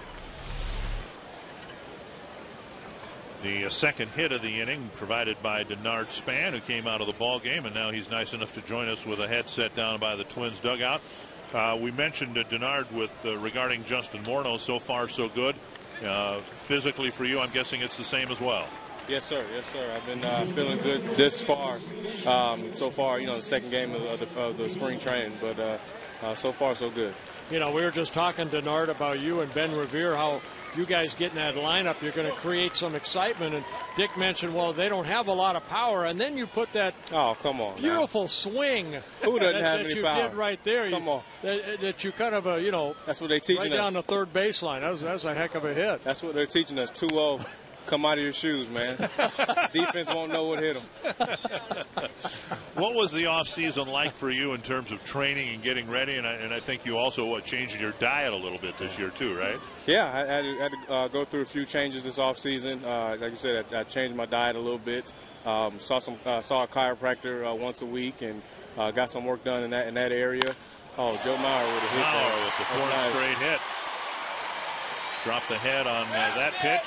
That's And nice. Banked a single right, and it's five to two. yeah, but uh, did some chiropractic work and um, did some yoga this off season. So um, you know, I, I, so far the, the, things that I've done have uh, have had me um, coming into spring training feeling pretty good. Well, pretty good curveball right there, but Joe just dropping the barrel of the bat and picking up the RBI single. So Joe leaves with a couple hits here this uh, this evening. You know, Denard, we, we had a chance to talk a little bit in, during the winter caravan about your diet and everything you're going through. When does a player that say that went through what you went through last year, when does it leave your, your mind? I mean, that that is it's gone.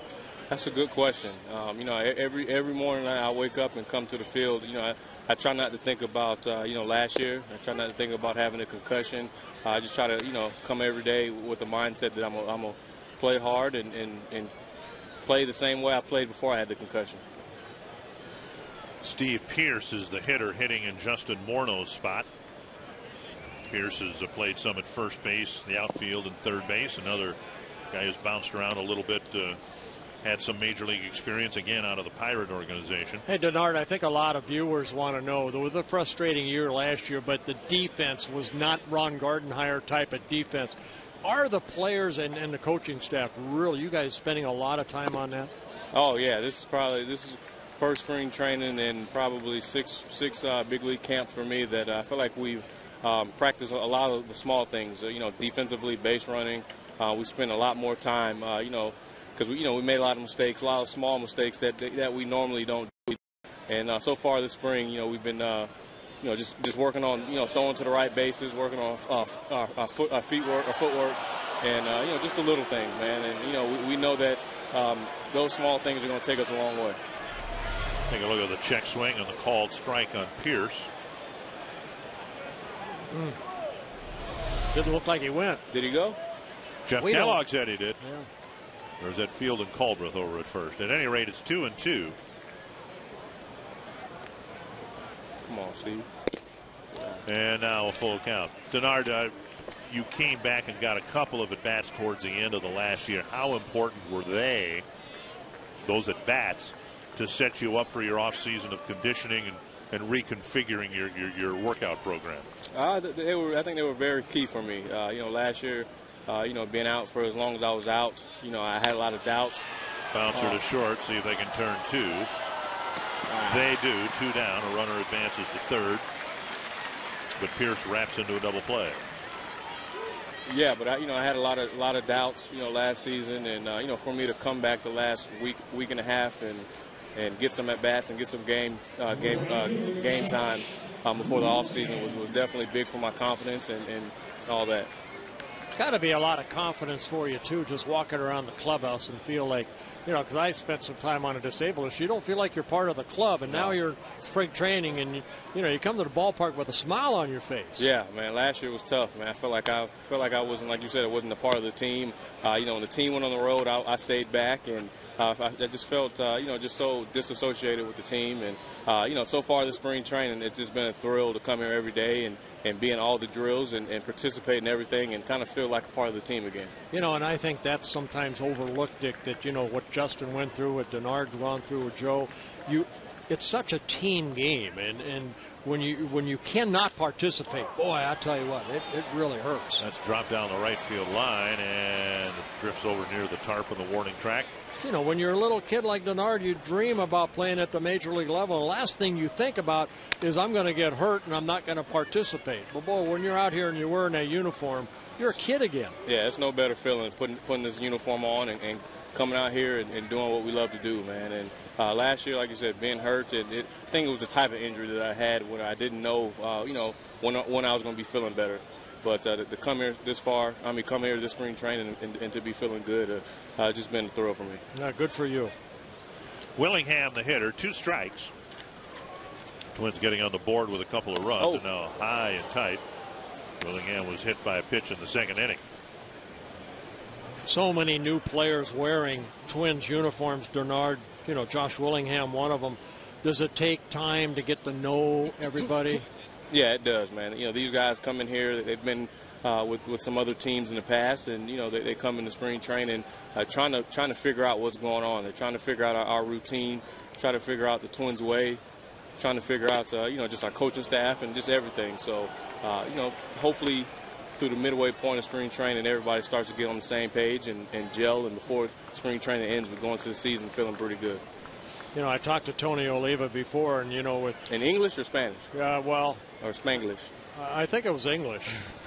you but, never know uh, with Tony. yeah. But the importance of just having at bats in spring training. Last year there was, and I'm not, you can't put your thumb on one thing, but so many guys were injured last year. To keep you and Justin and and, and Joe get your at bats so important in spring training to get ready for the season. Yeah, it is, man. This is uh, spring training so big for, for all of us here to, to see pitches and to and you know just to get a feel for the game again. You know, baseball is, is a sport where you take off a week or two and you, and you lose everything, and it's about getting back into that routine of playing every day and, and getting getting you know getting a feel for uh, this game again. So you know, getting at bats that that's part of getting ready for spring training. Now we're showing Tony Oliva and Rod Carew right there, two guys that I'm sure you pick their brains as much as you can. Yeah, I try to every day. I come to the field. You know, I, I try to get as much information from those guys because those guys are definitely uh, legends in my book. And um, Tony should be a Hall of Famer, and, and yes. you, you, already know um, Rod is a Hall of Famer, but just two good baseball guys. Trevor Plouffe hitting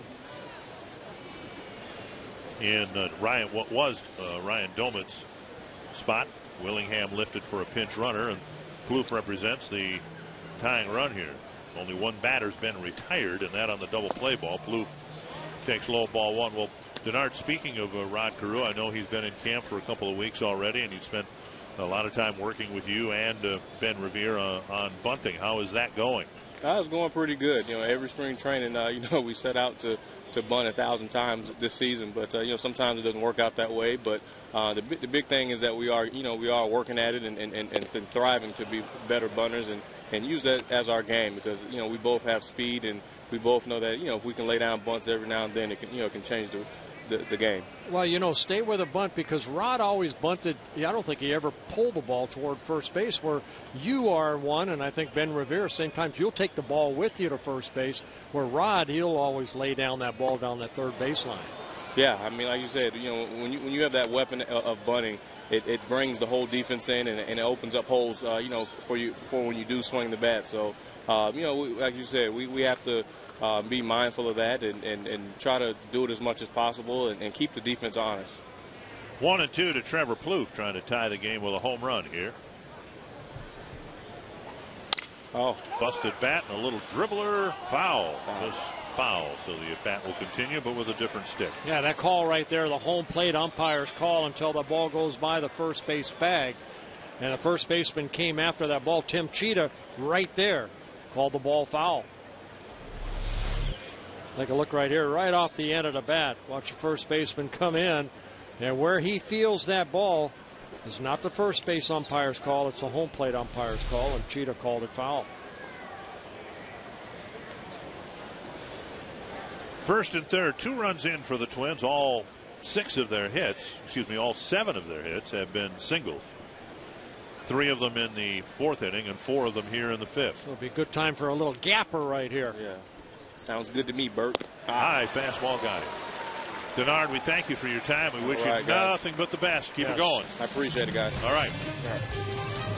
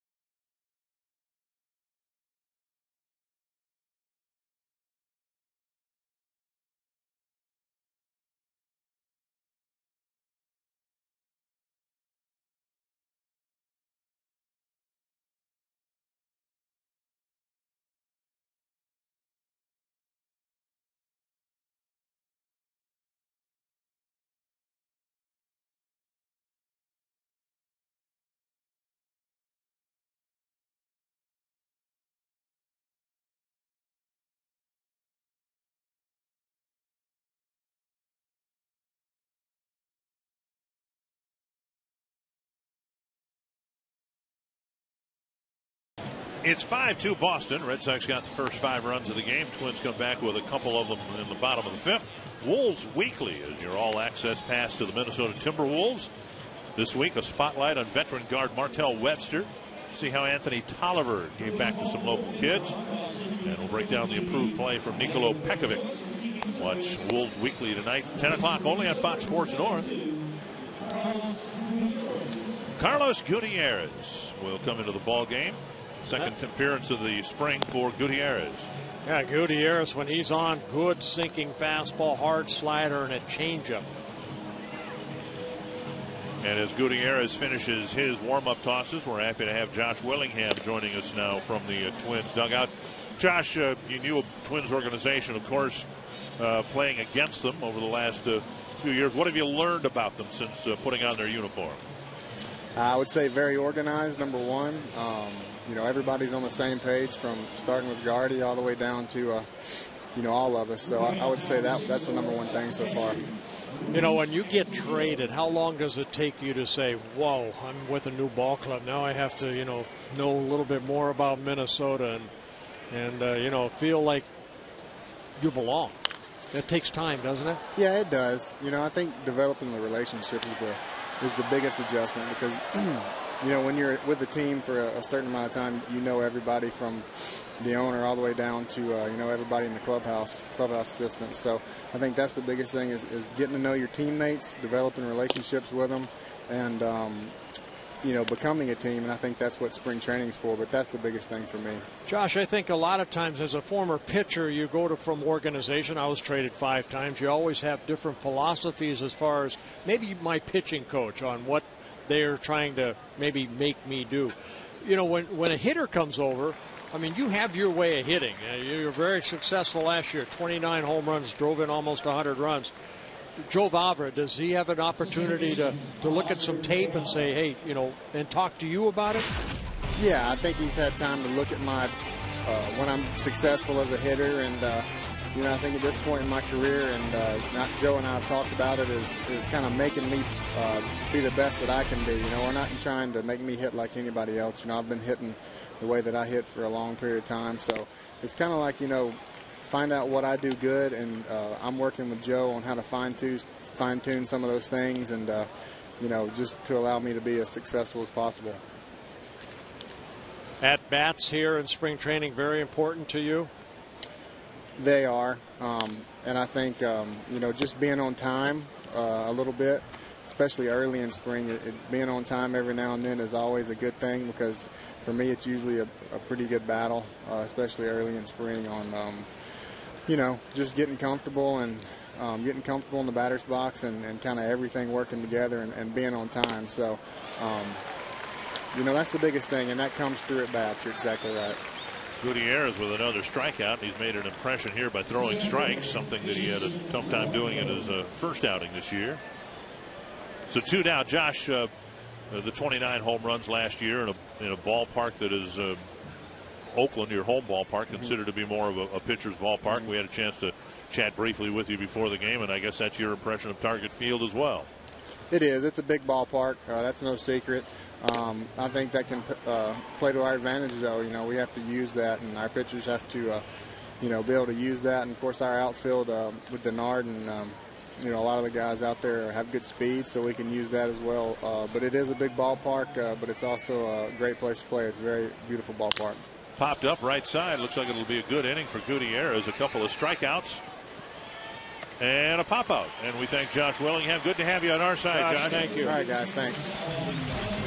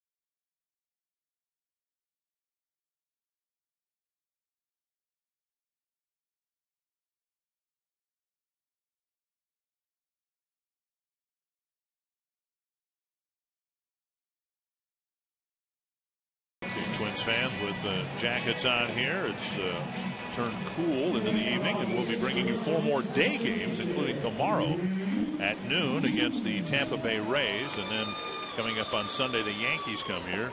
Some of us are going to Lakeland to do the Tiger game, and then the Rays back here on the, uh, March 26th.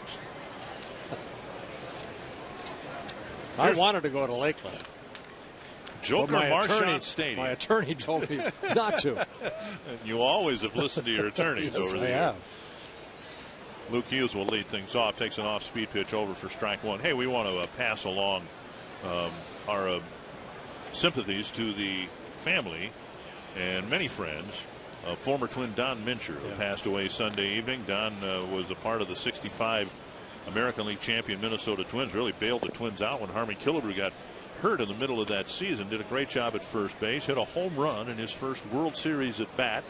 And then you said you, you saw him play. Uh, When I grew up in Southern California, I still haven't grown up. When I was out in Southern Right. California during my high school days, uh, Don Mincher was part of the Angel organization. Twins traded him over there for Dean Chance, who had some good years with the Twins. Uh, and then uh, Mincher was part of the 69 Seattle Pilots. Ended up getting a World Series ring uh, in the early 70s with the A's, and he passed away after an illness Sunday Se- night. 73 years old. So our condolences go out to the Mincher family. Inside, missing the You know, about again. two weeks ago, I went over to the, uh, the East Coast and went to uh, Gary Carter's funeral. Gary Carter uh, passed away at age 57. The Hall of Fame catcher. And a brain tumor, and it looked for a long while like he was winning that battle, but he eventually succumbed to those tumors. Hughes taps it foul. It'll be Hughes. And then uh, Pedro Florimon is into the on deck circle. He's going to get an at bat here. Three and two. The Twins have tried to claw their way back into the game with a bunch of singles. Seven of them over the last two innings. Busted bat. And Hughes is retired by half step, one away. And that'll bring up Florimon. Oh, good play right here as the third baseman cuts across by the shortstop. Good strong throw, but good hustle by Hughes down the line on a bang bang play. Pedro Florimon was claimed uh, by the Twins on waivers. He got eight at bats with the Orioles last year. Um, haven't heard much about him. You probably have not heard much about him. But there are some in the Twins organization who think this guy might be their shortstop of the future. And I'm talking specifically about former teammate of yours, Tom Brunansky, who was the double A hitting coach and saw Florimon on a regular basis last year. They said, uh, Tom has said, this guy flat out can pick it. He's a great defensive shortstop. Yeah, switch hitter, just 25 years old. Out of the Dominican Republic.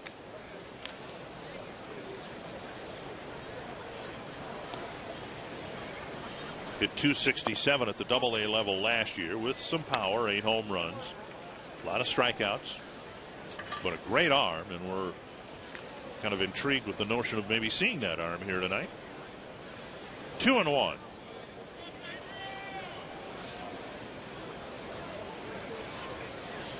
Outside, you know, a lot's been made over the years of the Twins having almost a revolving door at short. It's a position you don't want a revolving door. With Jason Bartlett traded when it looked like he was going to anchor that position for a while, Cristian Guzman really the last guy over any number of years to play that position for the Twins. Yeah, before uh, Greg Gagne. Gags, you know, two part of two World Championship ball clubs.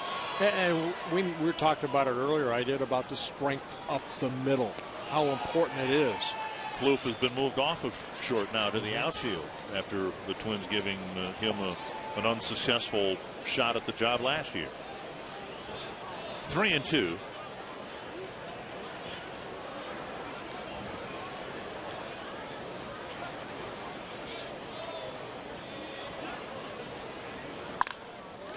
on the ground. And Florimon retired, one or two down.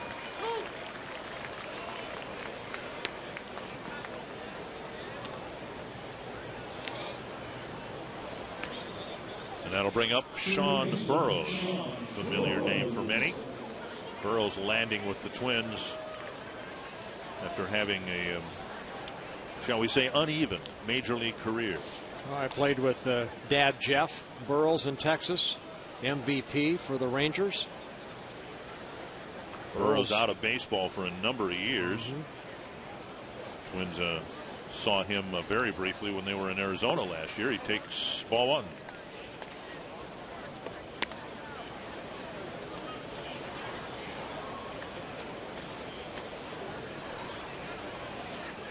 Burroughs did not play baseball 2008, 2009, 2010, dealing with some personal issues. Came back, got 78 at bats with the Diamondbacks last year, hit 273. A former number one pick by the San Diego Padres, ninth overall in the 98 draft. Two and zero. And now 3 and 0. Sony on deck.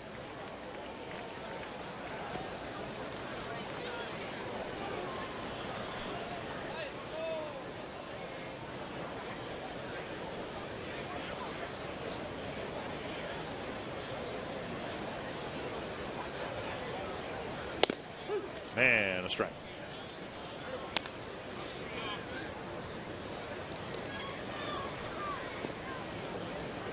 Inman with his second inning of work having a little bit better time of it here in the sixth than he did in the fifth when he gave up four singles and a walk.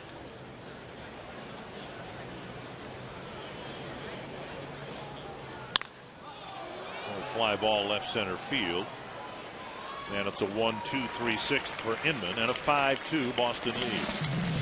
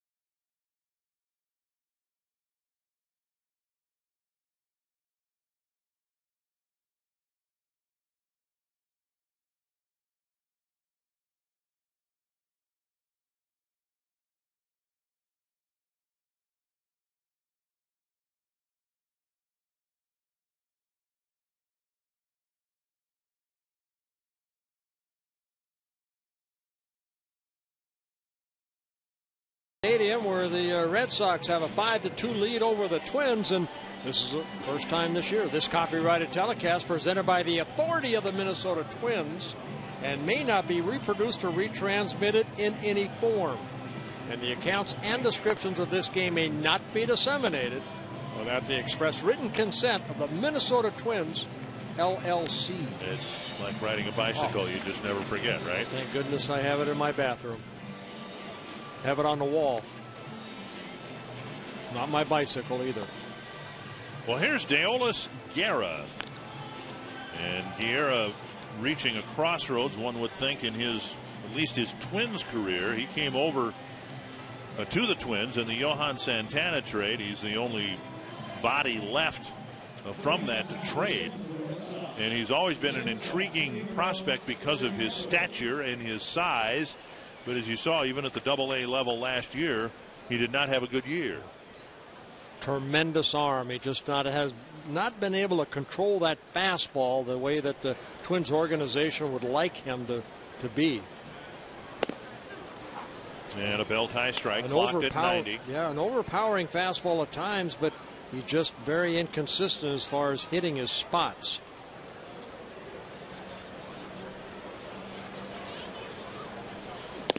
Inside a ball. At no level since the trade has he stepped up and dominated the opposition. Swing and a miss on an off speed pitch, one and two. Used almost exclusively as a starting pitcher until last year. And in trying to unlock his potential, the Twins moved him to the bullpen. There's a curve, tapped foul. Yeah, scouting report a fastball between 88 and 94, the curveball you just saw, and then a very good changeup. Young man, still 22 years old.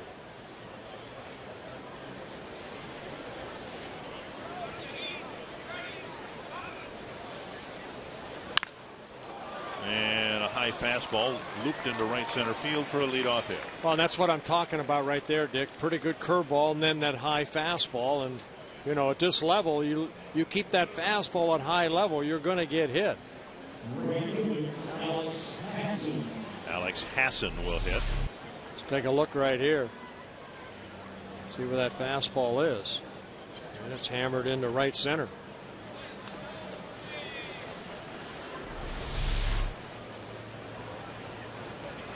Hassan in for Ryan Sweeney, who went 0 for 3.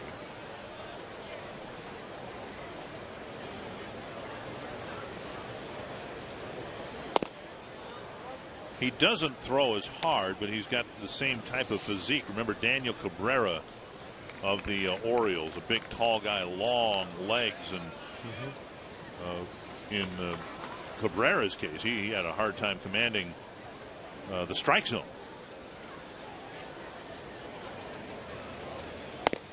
High and tight, 2 0. That really hasn't been that much of an issue for Guerra in 680 minor league innings, 254 walks. That's not great, but that's not been the downfall for mm-hmm. him. Nor has it been home runs. 65 home runs allowed in 680 innings. Runner goes, and the pitch bounced to short. Florimon shows off that arm, slings it over to get Hassan one away. You can follow the Twins with MLB.com at bat 12 for your iPhone, iPad, Android, or Blackberry. Get spring training scores, stats, highlights, live audio, and more. Text at bat to 31826 or visit twinsbaseball.com for details. Well, sometimes you look at those numbers, Dick, and it's always not walks and strikeouts. It's always what does he do with that first first pitch? You know, what does he do right. with the second one? Okay, ball one, ball two. Well, you're going to have to come in with a pitch, curveball. And the throw to third might have gotten by Burrows and hit Iglesias. It looks like that's what happened. As he scampered to third, this young man, excuse me, this is uh, Chiasso, who stole third base.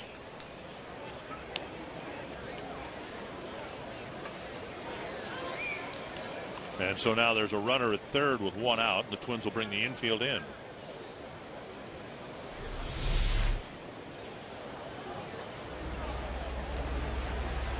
Will Middlebrooks, the hitter.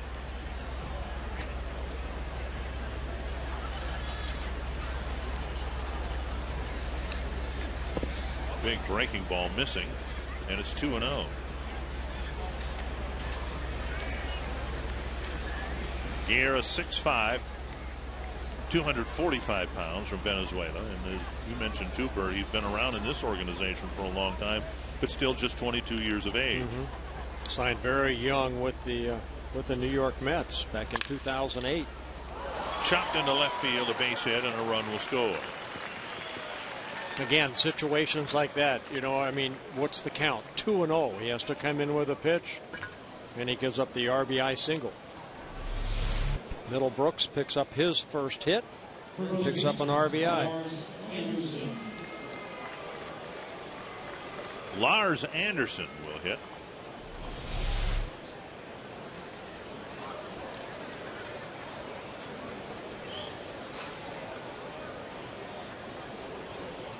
Ortiz with a pair of extra base hits. David Ortiz, a home run and a double off the glove and or the fence in left center.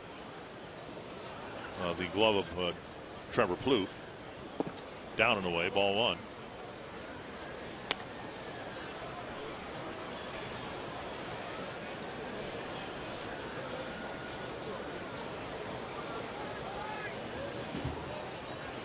Six to two Boston. Red Sox out hitting the Twins eight to seven.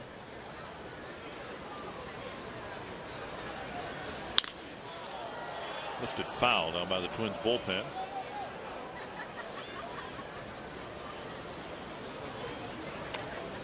Find out who our next pitcher will be. Him. I believe that's Daryl Thompson. Is that 66 or 68? That's 66. That's Brendan Wise. One and one to Anderson. And now two and one.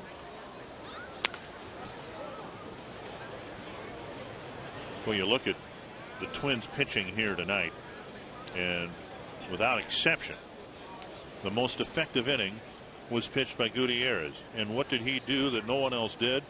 Pound the strike zone. He threw strikes.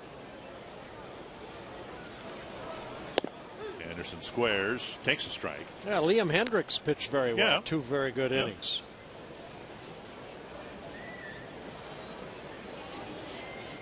But Gutierrez was out there and off the mound before we could even talk much about him. A couple of strikeouts and a quick pop up.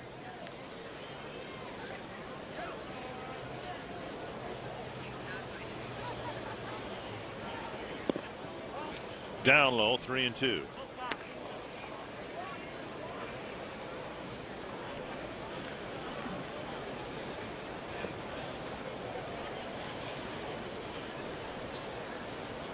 Linares on deck.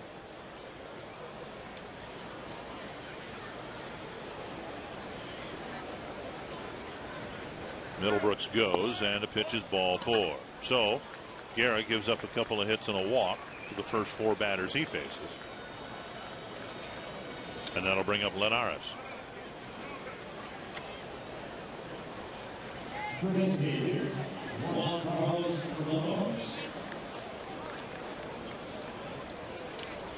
Linares called out on strikes in his first at bat back in the fifth inning.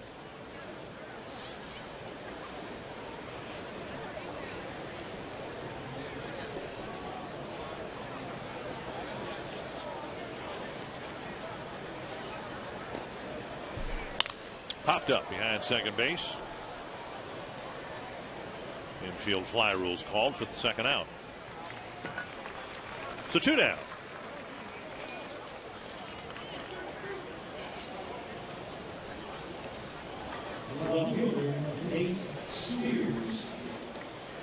And now Nate Spears will hit. Last year, the Red Sox got off to a terrible start. Played very well early in the or midway through the season. Were in the driver's seat for a playoff spot, and then they collapsed for a- an historic, historically bad finish to the season. And of course, they're in a division where you can't afford to play poorly for any length of time with a very good young Tampa Bay team, the Yankees, an improved Toronto team. Well, what do you think about the new uh, wild card that the baseball's put into play? 10 of 30 teams will make the playoffs. Yeah.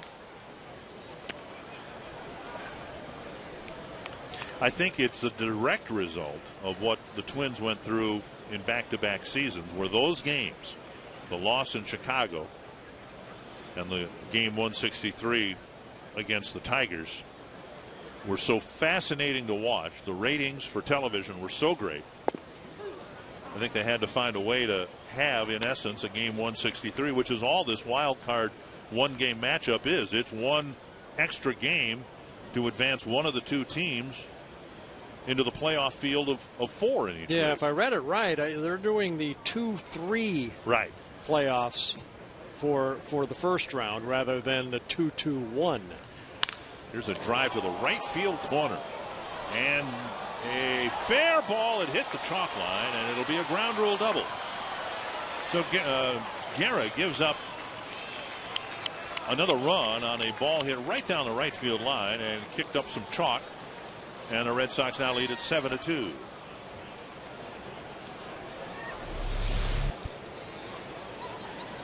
Let's take a look at the pitch right here. Fastball pretty much right there. Good solid swing. And the ball bouncing out of the ballpark, so a ground rule double.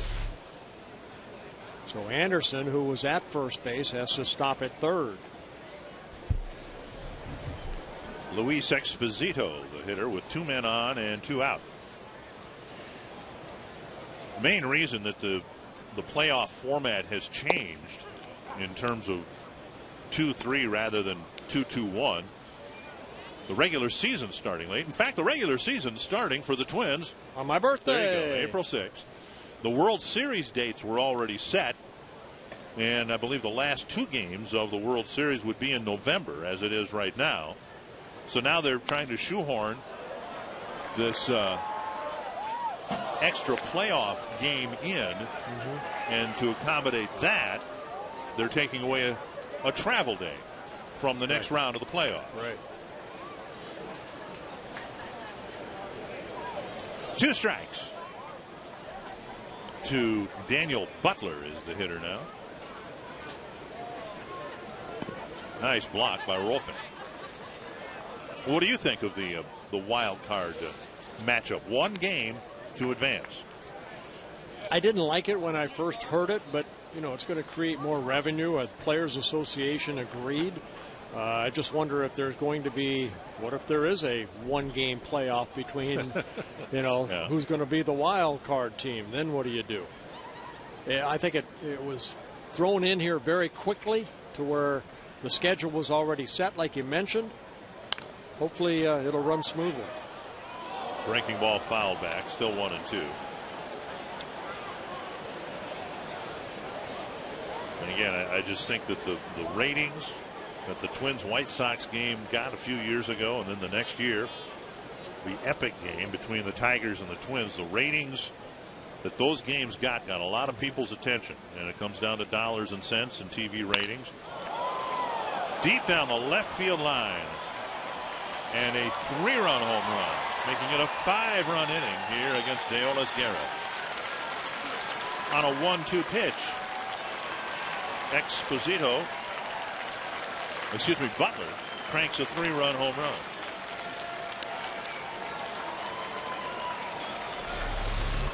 Well, watch how Butler turns on this pitch inside, just opening up. And a ball flying down that left field line out of the ballpark for a big three run home run. Opens up the ball game to a 10 to 2 Red Sox lead.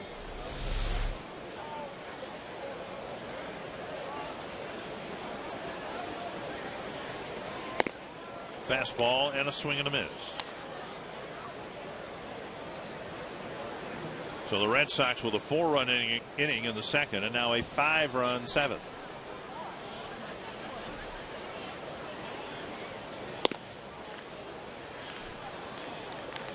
One and one. Yeah, they've already laid out the scenario. What might happen, say, if the Red Sox have to go out to the West Coast to play a game 163 and then have to fly back to the East Coast mm-hmm. to play the wild card game, all in a span of you know 48 hours. And meanwhile, Rick Anderson wondering what he has to do, what the organization has to do to unlock the puzzle of Deolis Guerra.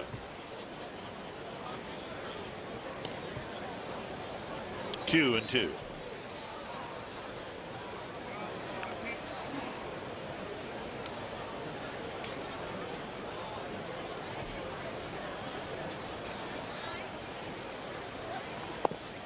Misfires. Full count.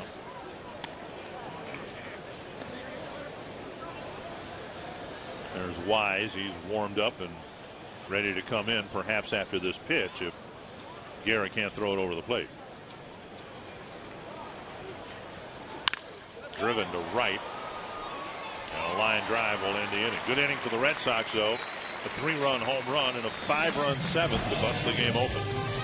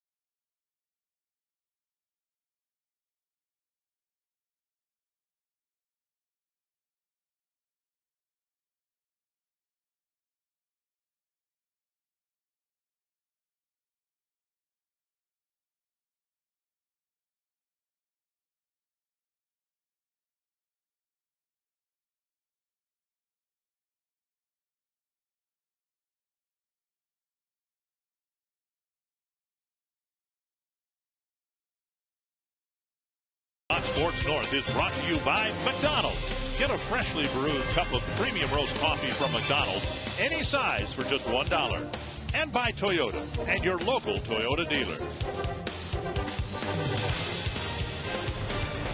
Here at Hammond Stadium, the Red Sox have hit a couple of home runs to break open the ball game now to make it 10 to 2. Ortiz home run in the fourth, or a third inning, I should say, and then a three run home run in the seventh. Here's Rene Tosoni taking strike one. Yeah, Brandon Duckworth on the mound now for the Boston Red Sox. In his second season with the Red Sox last year, uh, spent the whole season down in AAA. Duckworth has some major league experience with the Phillies, the Astros, the Kansas City Royals. Had some injuries that has set his career back. Way out in front of the changeup, and it's one and two. Now the Twins saw Duckworth when he was with the Royals, parts of three seasons, parts of two years with the Astros. Actually, won eight ball games for the Phillies back in 2002. Mm-hmm. One and two to Tosoni.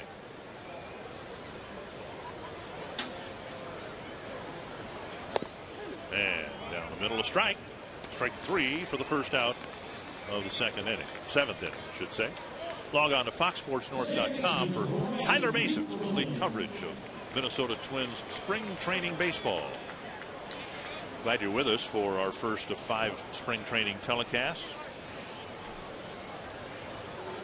Should be encouraged that just about every game the Twins play during the regular season will be televised. Locally here, we will be televising 150.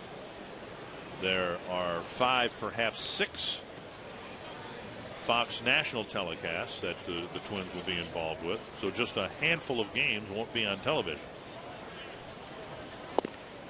Down and away 2 and 0. Brian Dinkelman had a chance to play for the Twins last year. He hit over 300. And a little roller, and I mean roller to second base, two down.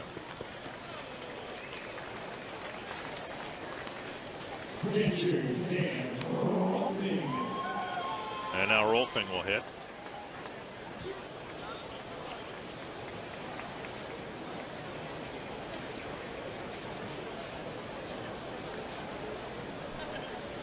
Mentioned the four other or the four teams on the rise in the American League East. Didn't mean to uh, do Buck Showalter's Orioles a disservice, but the Orioles are rebuilding, and that's whom the Twins will play to start the season, uh, starting one month from tomorrow.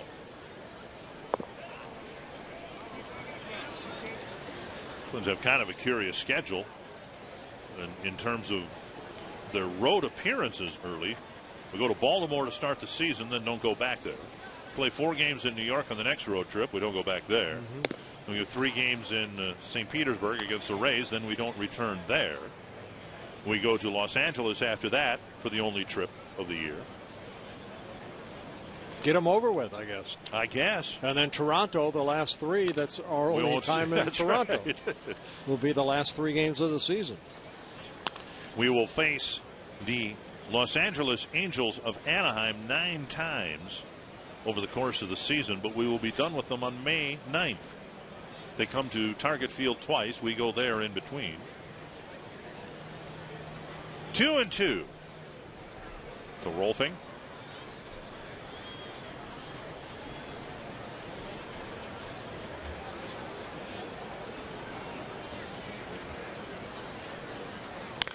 Little pop up behind the plate. And Duckworth has a one, two, three, seven.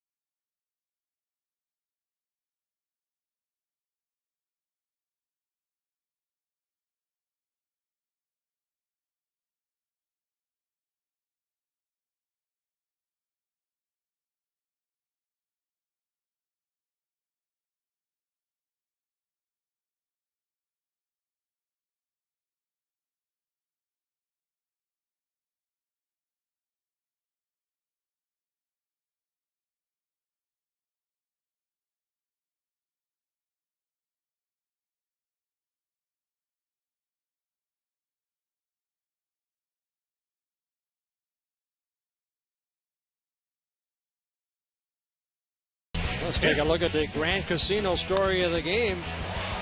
Jason Marquis started for the Twins, gave up a run, four runs in the second inning. To David Ortiz, a solo home run in the third. Twins come back. Willingham, Doumit get base hits. Nishioka gets an RBI single, puts the Twins on the board, followed by an RBI single by Joe Mauer. Good piece of hitting there.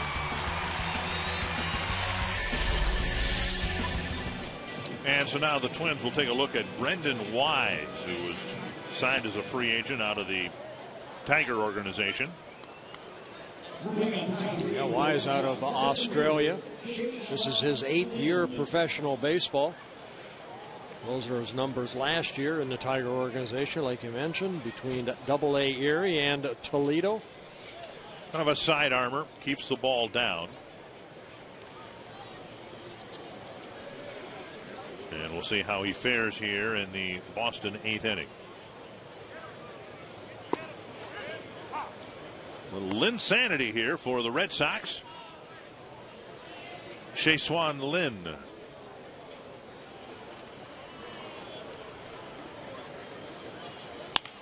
A jam shot and a little roller to short. Yeah, see his arm. On the run, throws a rocket over there. You know, could do that, Cristian Guzman. When Guzzi first came up, boy, he had a great arm, just like that. Watch this little flip. Okay, it took him a little extra time to find a grip on that baseball, but boy, got something on that throw. So one down here in the eighth inning.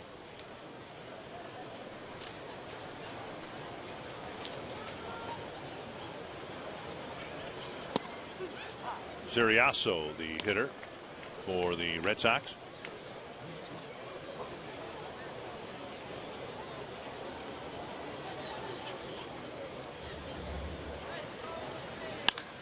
To center. And Tosoni's out there to grab it. Out number two.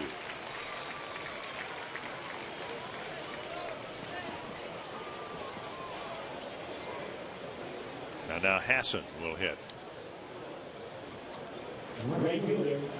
You know, the thing that Wise has is his delivery is just peculiar enough. It's more of a sidearm delivery, and uh, a lot of guys have, have pitched a long time in the big leagues with kind of a funky delivery, something that's out of the ordinary. And Wise looks like he's got that, and that might help explain some, at times, very impressive minor league numbers. Now, he's never thrown a pitch in the big leagues yet, but from that third base angle, you can see his delivery. And of course, we all know Pat Neshek for about a year and a half was, a, was about as good a setup mm-hmm. guy as there was in the American League before well, he, know, his arm I think hurt. Dick hitters are taught to look for the ball out of, say, the hat, like Rod Caruso. They right. always look to the bill of the hat, and all of a sudden, you know, you have someone like a Kent Tekulve or a Dan Quisenberry that you know went from underneath or at different different angle. It is a little uh, sometimes hard to pick up. Looks like he hides the ball well right in there.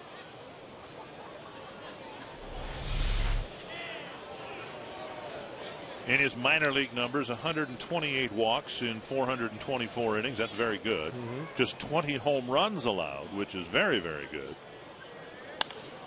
Sliced foul. Heck, I gave those up by June.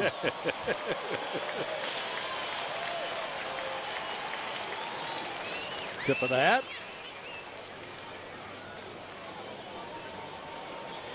One and two.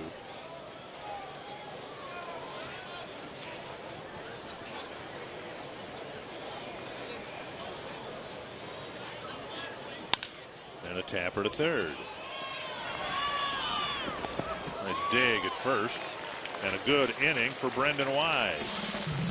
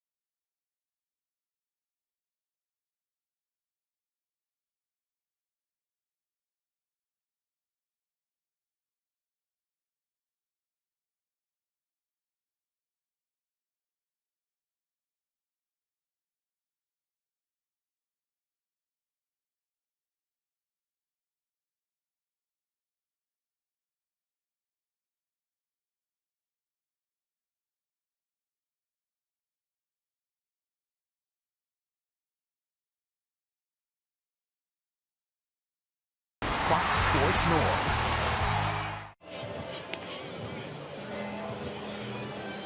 Ten to two, Boston. Twins came into the game with a two and one mark in Grapefruit League play. If you're out and about this week, stop by one of the Twins pro shops in Apple Valley, Roseville, or Minnetonka. If you're downtown, the Majestic Athletic Clubhouse right there at Target Field. Get uh, set up for the season with Twins gear shirts, sweatshirts, jackets, caps. Great selections at four convenient locations. Steve Pearce leading things off for the Twins in the bottom of the eighth. Ball one.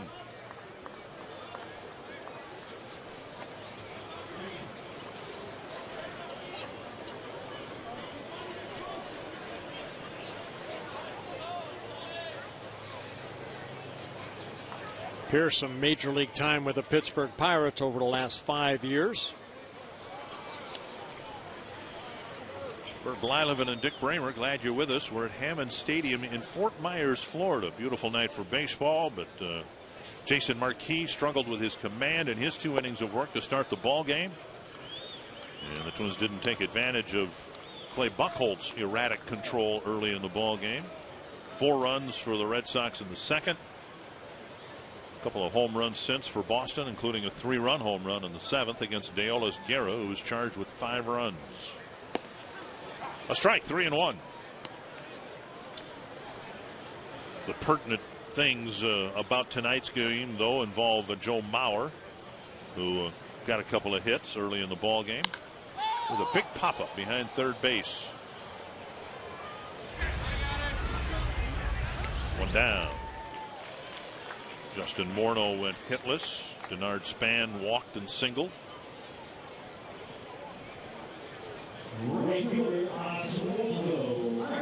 We are on the air again tomorrow. We don't expect Mauer or Morneau or for that matter Span to make the trip. The camp is too full to ask players at this point of the season to play in back-to-back games. We're on the air at noon tomorrow from Port Charlotte. Well, the last time I did a game there, here's a drive off the bat of Oswaldo Arcia. That's out number two. Last time I was in Port Charlotte to do a telecast, the Rangers were still there. Mm -hmm. Two down, and here's Trevor Plouffe.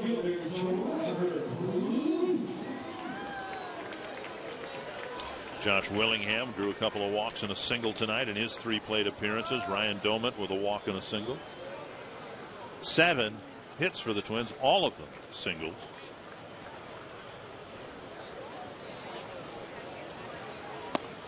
Strike one. Plouffe entered the game in left field. Replacing Doumit. Curve over for a strike. Two strikes.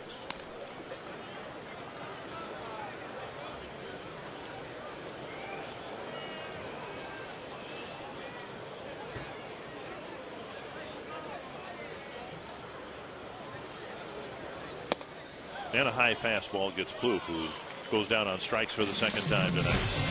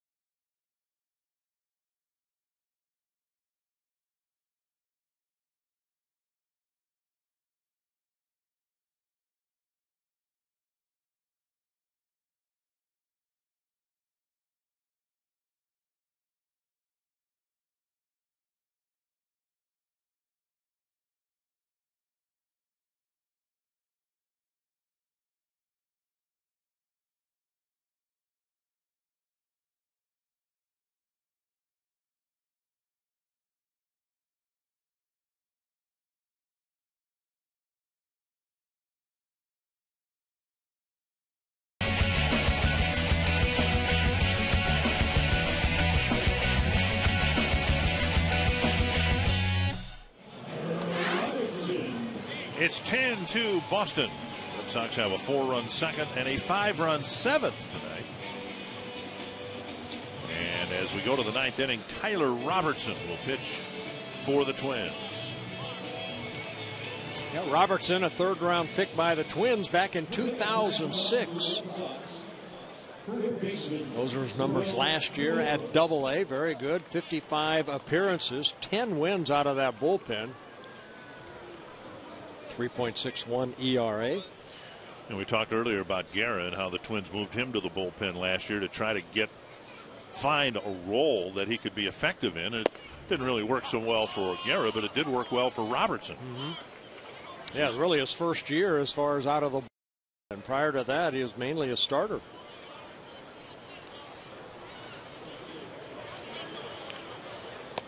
One and one.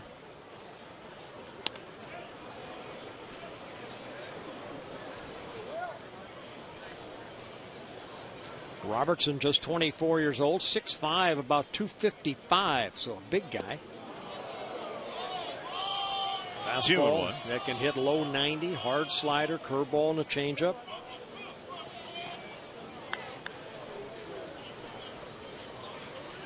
Was the closer for the New Britain team last year, 16 saves. A little nubber up the line, but foul.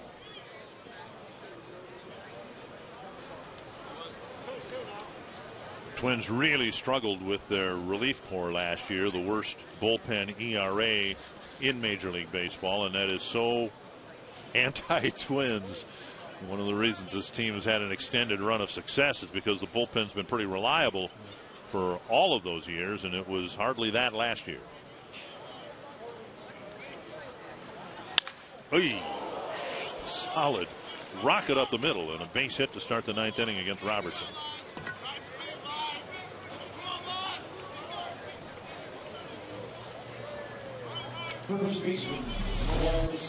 I'll take a look at the pitch. Fastball right there. Good solid swing by Middlebrooks. And he gets his second hit. Get out of the way. I'm amazed you said this, this before. 22 years in the big leagues, and you never got hit above the waist. Above the waist. Oh. Very lucky.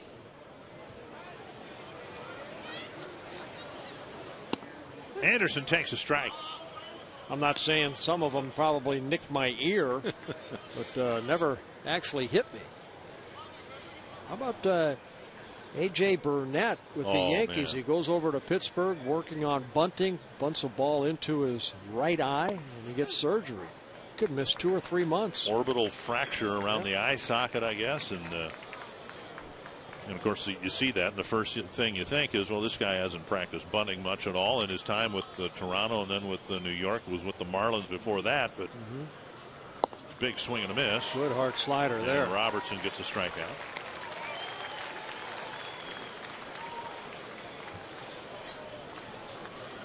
So one down here in the ninth inning. Look at the breaking ball right here. Good location. Juan Carlos Linares.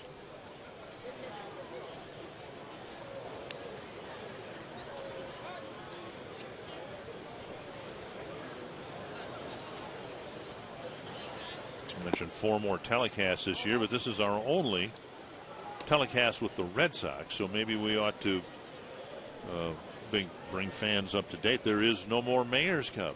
No, no, Ron Gardenhire says he has it up in a cabin in Minnesota, and he's not bringing it back. Well, it, it, uh, my goodness, there was, there was so much to play for. well, Gardy has it, so the Twins win. There's a schedule right there tomorrow against the Rays down in Port Charlotte. Then the Yankees on Sunday, and then March 21st in Detroit and in Lakeland with the Tigers hit six home runs in their uh, in their uh, spring Good. training day. Get them out of the way.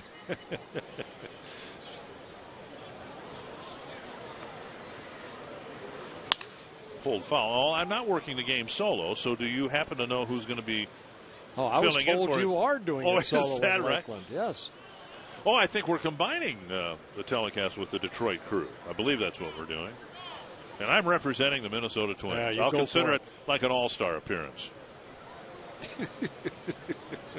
Two and one.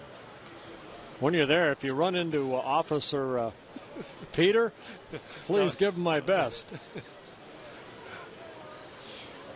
What county is that in again? That's in Lakeland. Yeah. Two and one.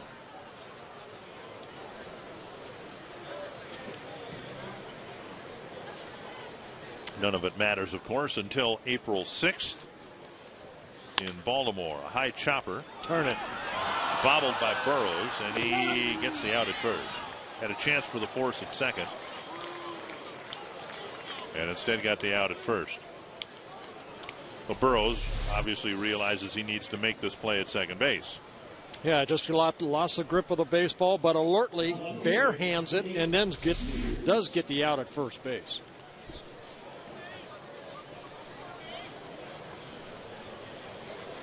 Here's Nate Spears with two gone in the ninth.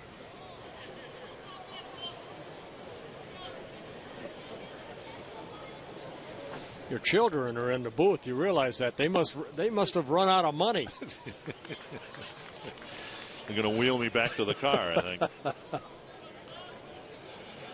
Eric and Hannah in here just to uh, give Dad some moral trou- support. Tr- trouble. That's trouble. right.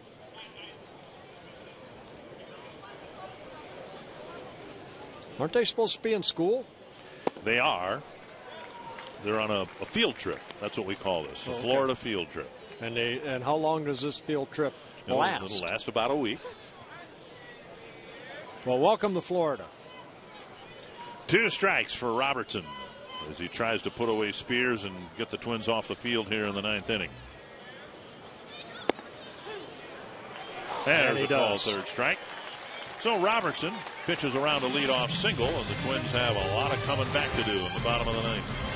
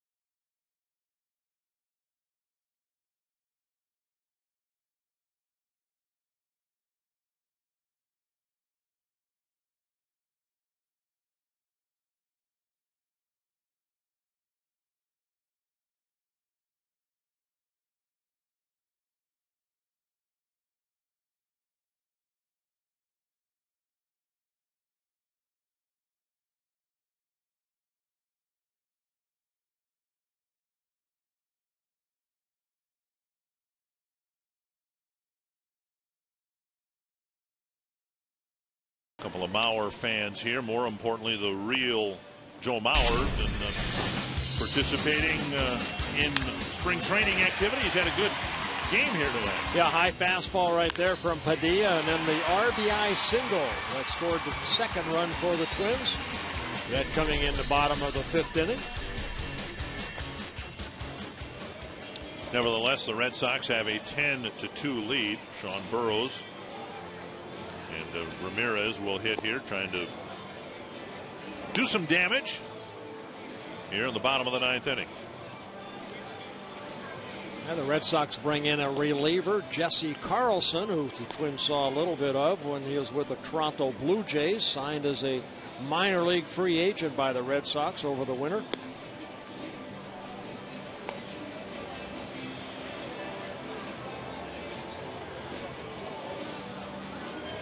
Carlson will sling uh, his pitches first to Wilkin Ramirez, signed as a free agent. Ramirez, a little bit of major league time with the Tigers, 11 at bats a few years ago, 26 at bats with the Braves last year.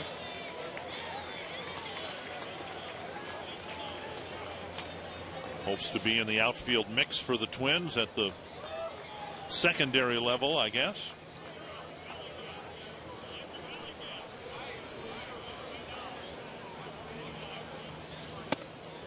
And a fastball inside.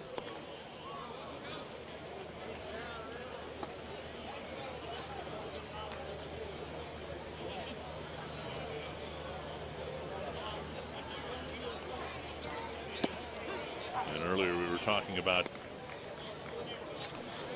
Brendan Wise and his unique delivery from the left side. Carlson's got a unique delivery. Just told by the truck, 300 pitches have been thrown here tonight. Is that all? Between both teams. Well, and it was really both teams. A Marquis struggled for the Twins, but Buchholz was hardly efficient with his offerings in the 1st Mhm. two innings. Got a big double play ball off the bat of Joe Mauer in the first inning. One and two, and Ramirez ooh, takes a pitch, looked like it had plenty of the plate, called ball two.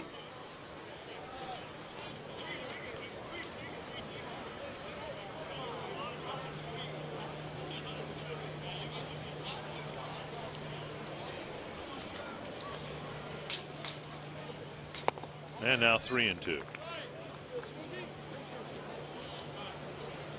Most left-handers, when they follow through, they fall, follow through, and fall toward the third base dugout. Carlson falls toward the first base dugout.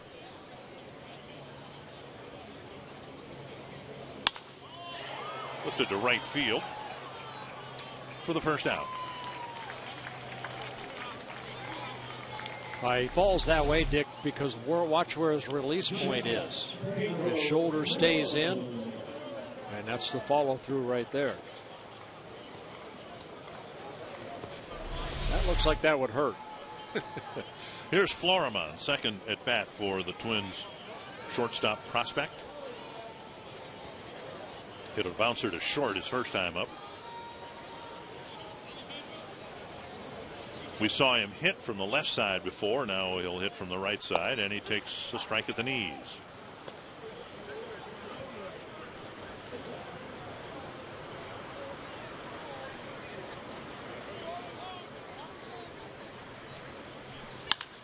Down the right field line. And Florimon retired. Two away.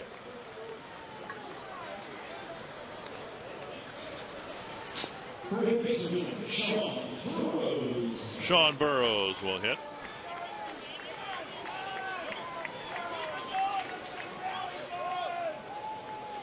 Burroughs with a fly to left his first time up.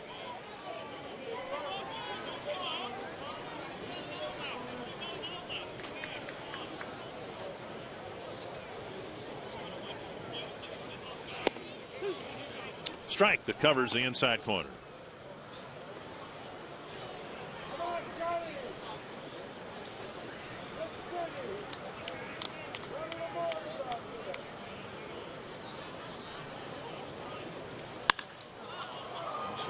Left center. Three fly ball outs end the game. And the Twins' Grapefruit League record uh, now sits at two and two. Well, I think what we saw here tonight is uh, Jason Marquis just kind of getting his feet wet a little bit. He struggled in the second inning, but uh, hopefully that'll get better as the spring goes on. A lot of guys got some at bats, some good at bats for Joe Mauer. So, uh, building blocks. The only night game of the Grapefruit League schedule ends in a Twins loss 10 to 2. We'll be back to wrap things up from Hammond Stadium in a moment.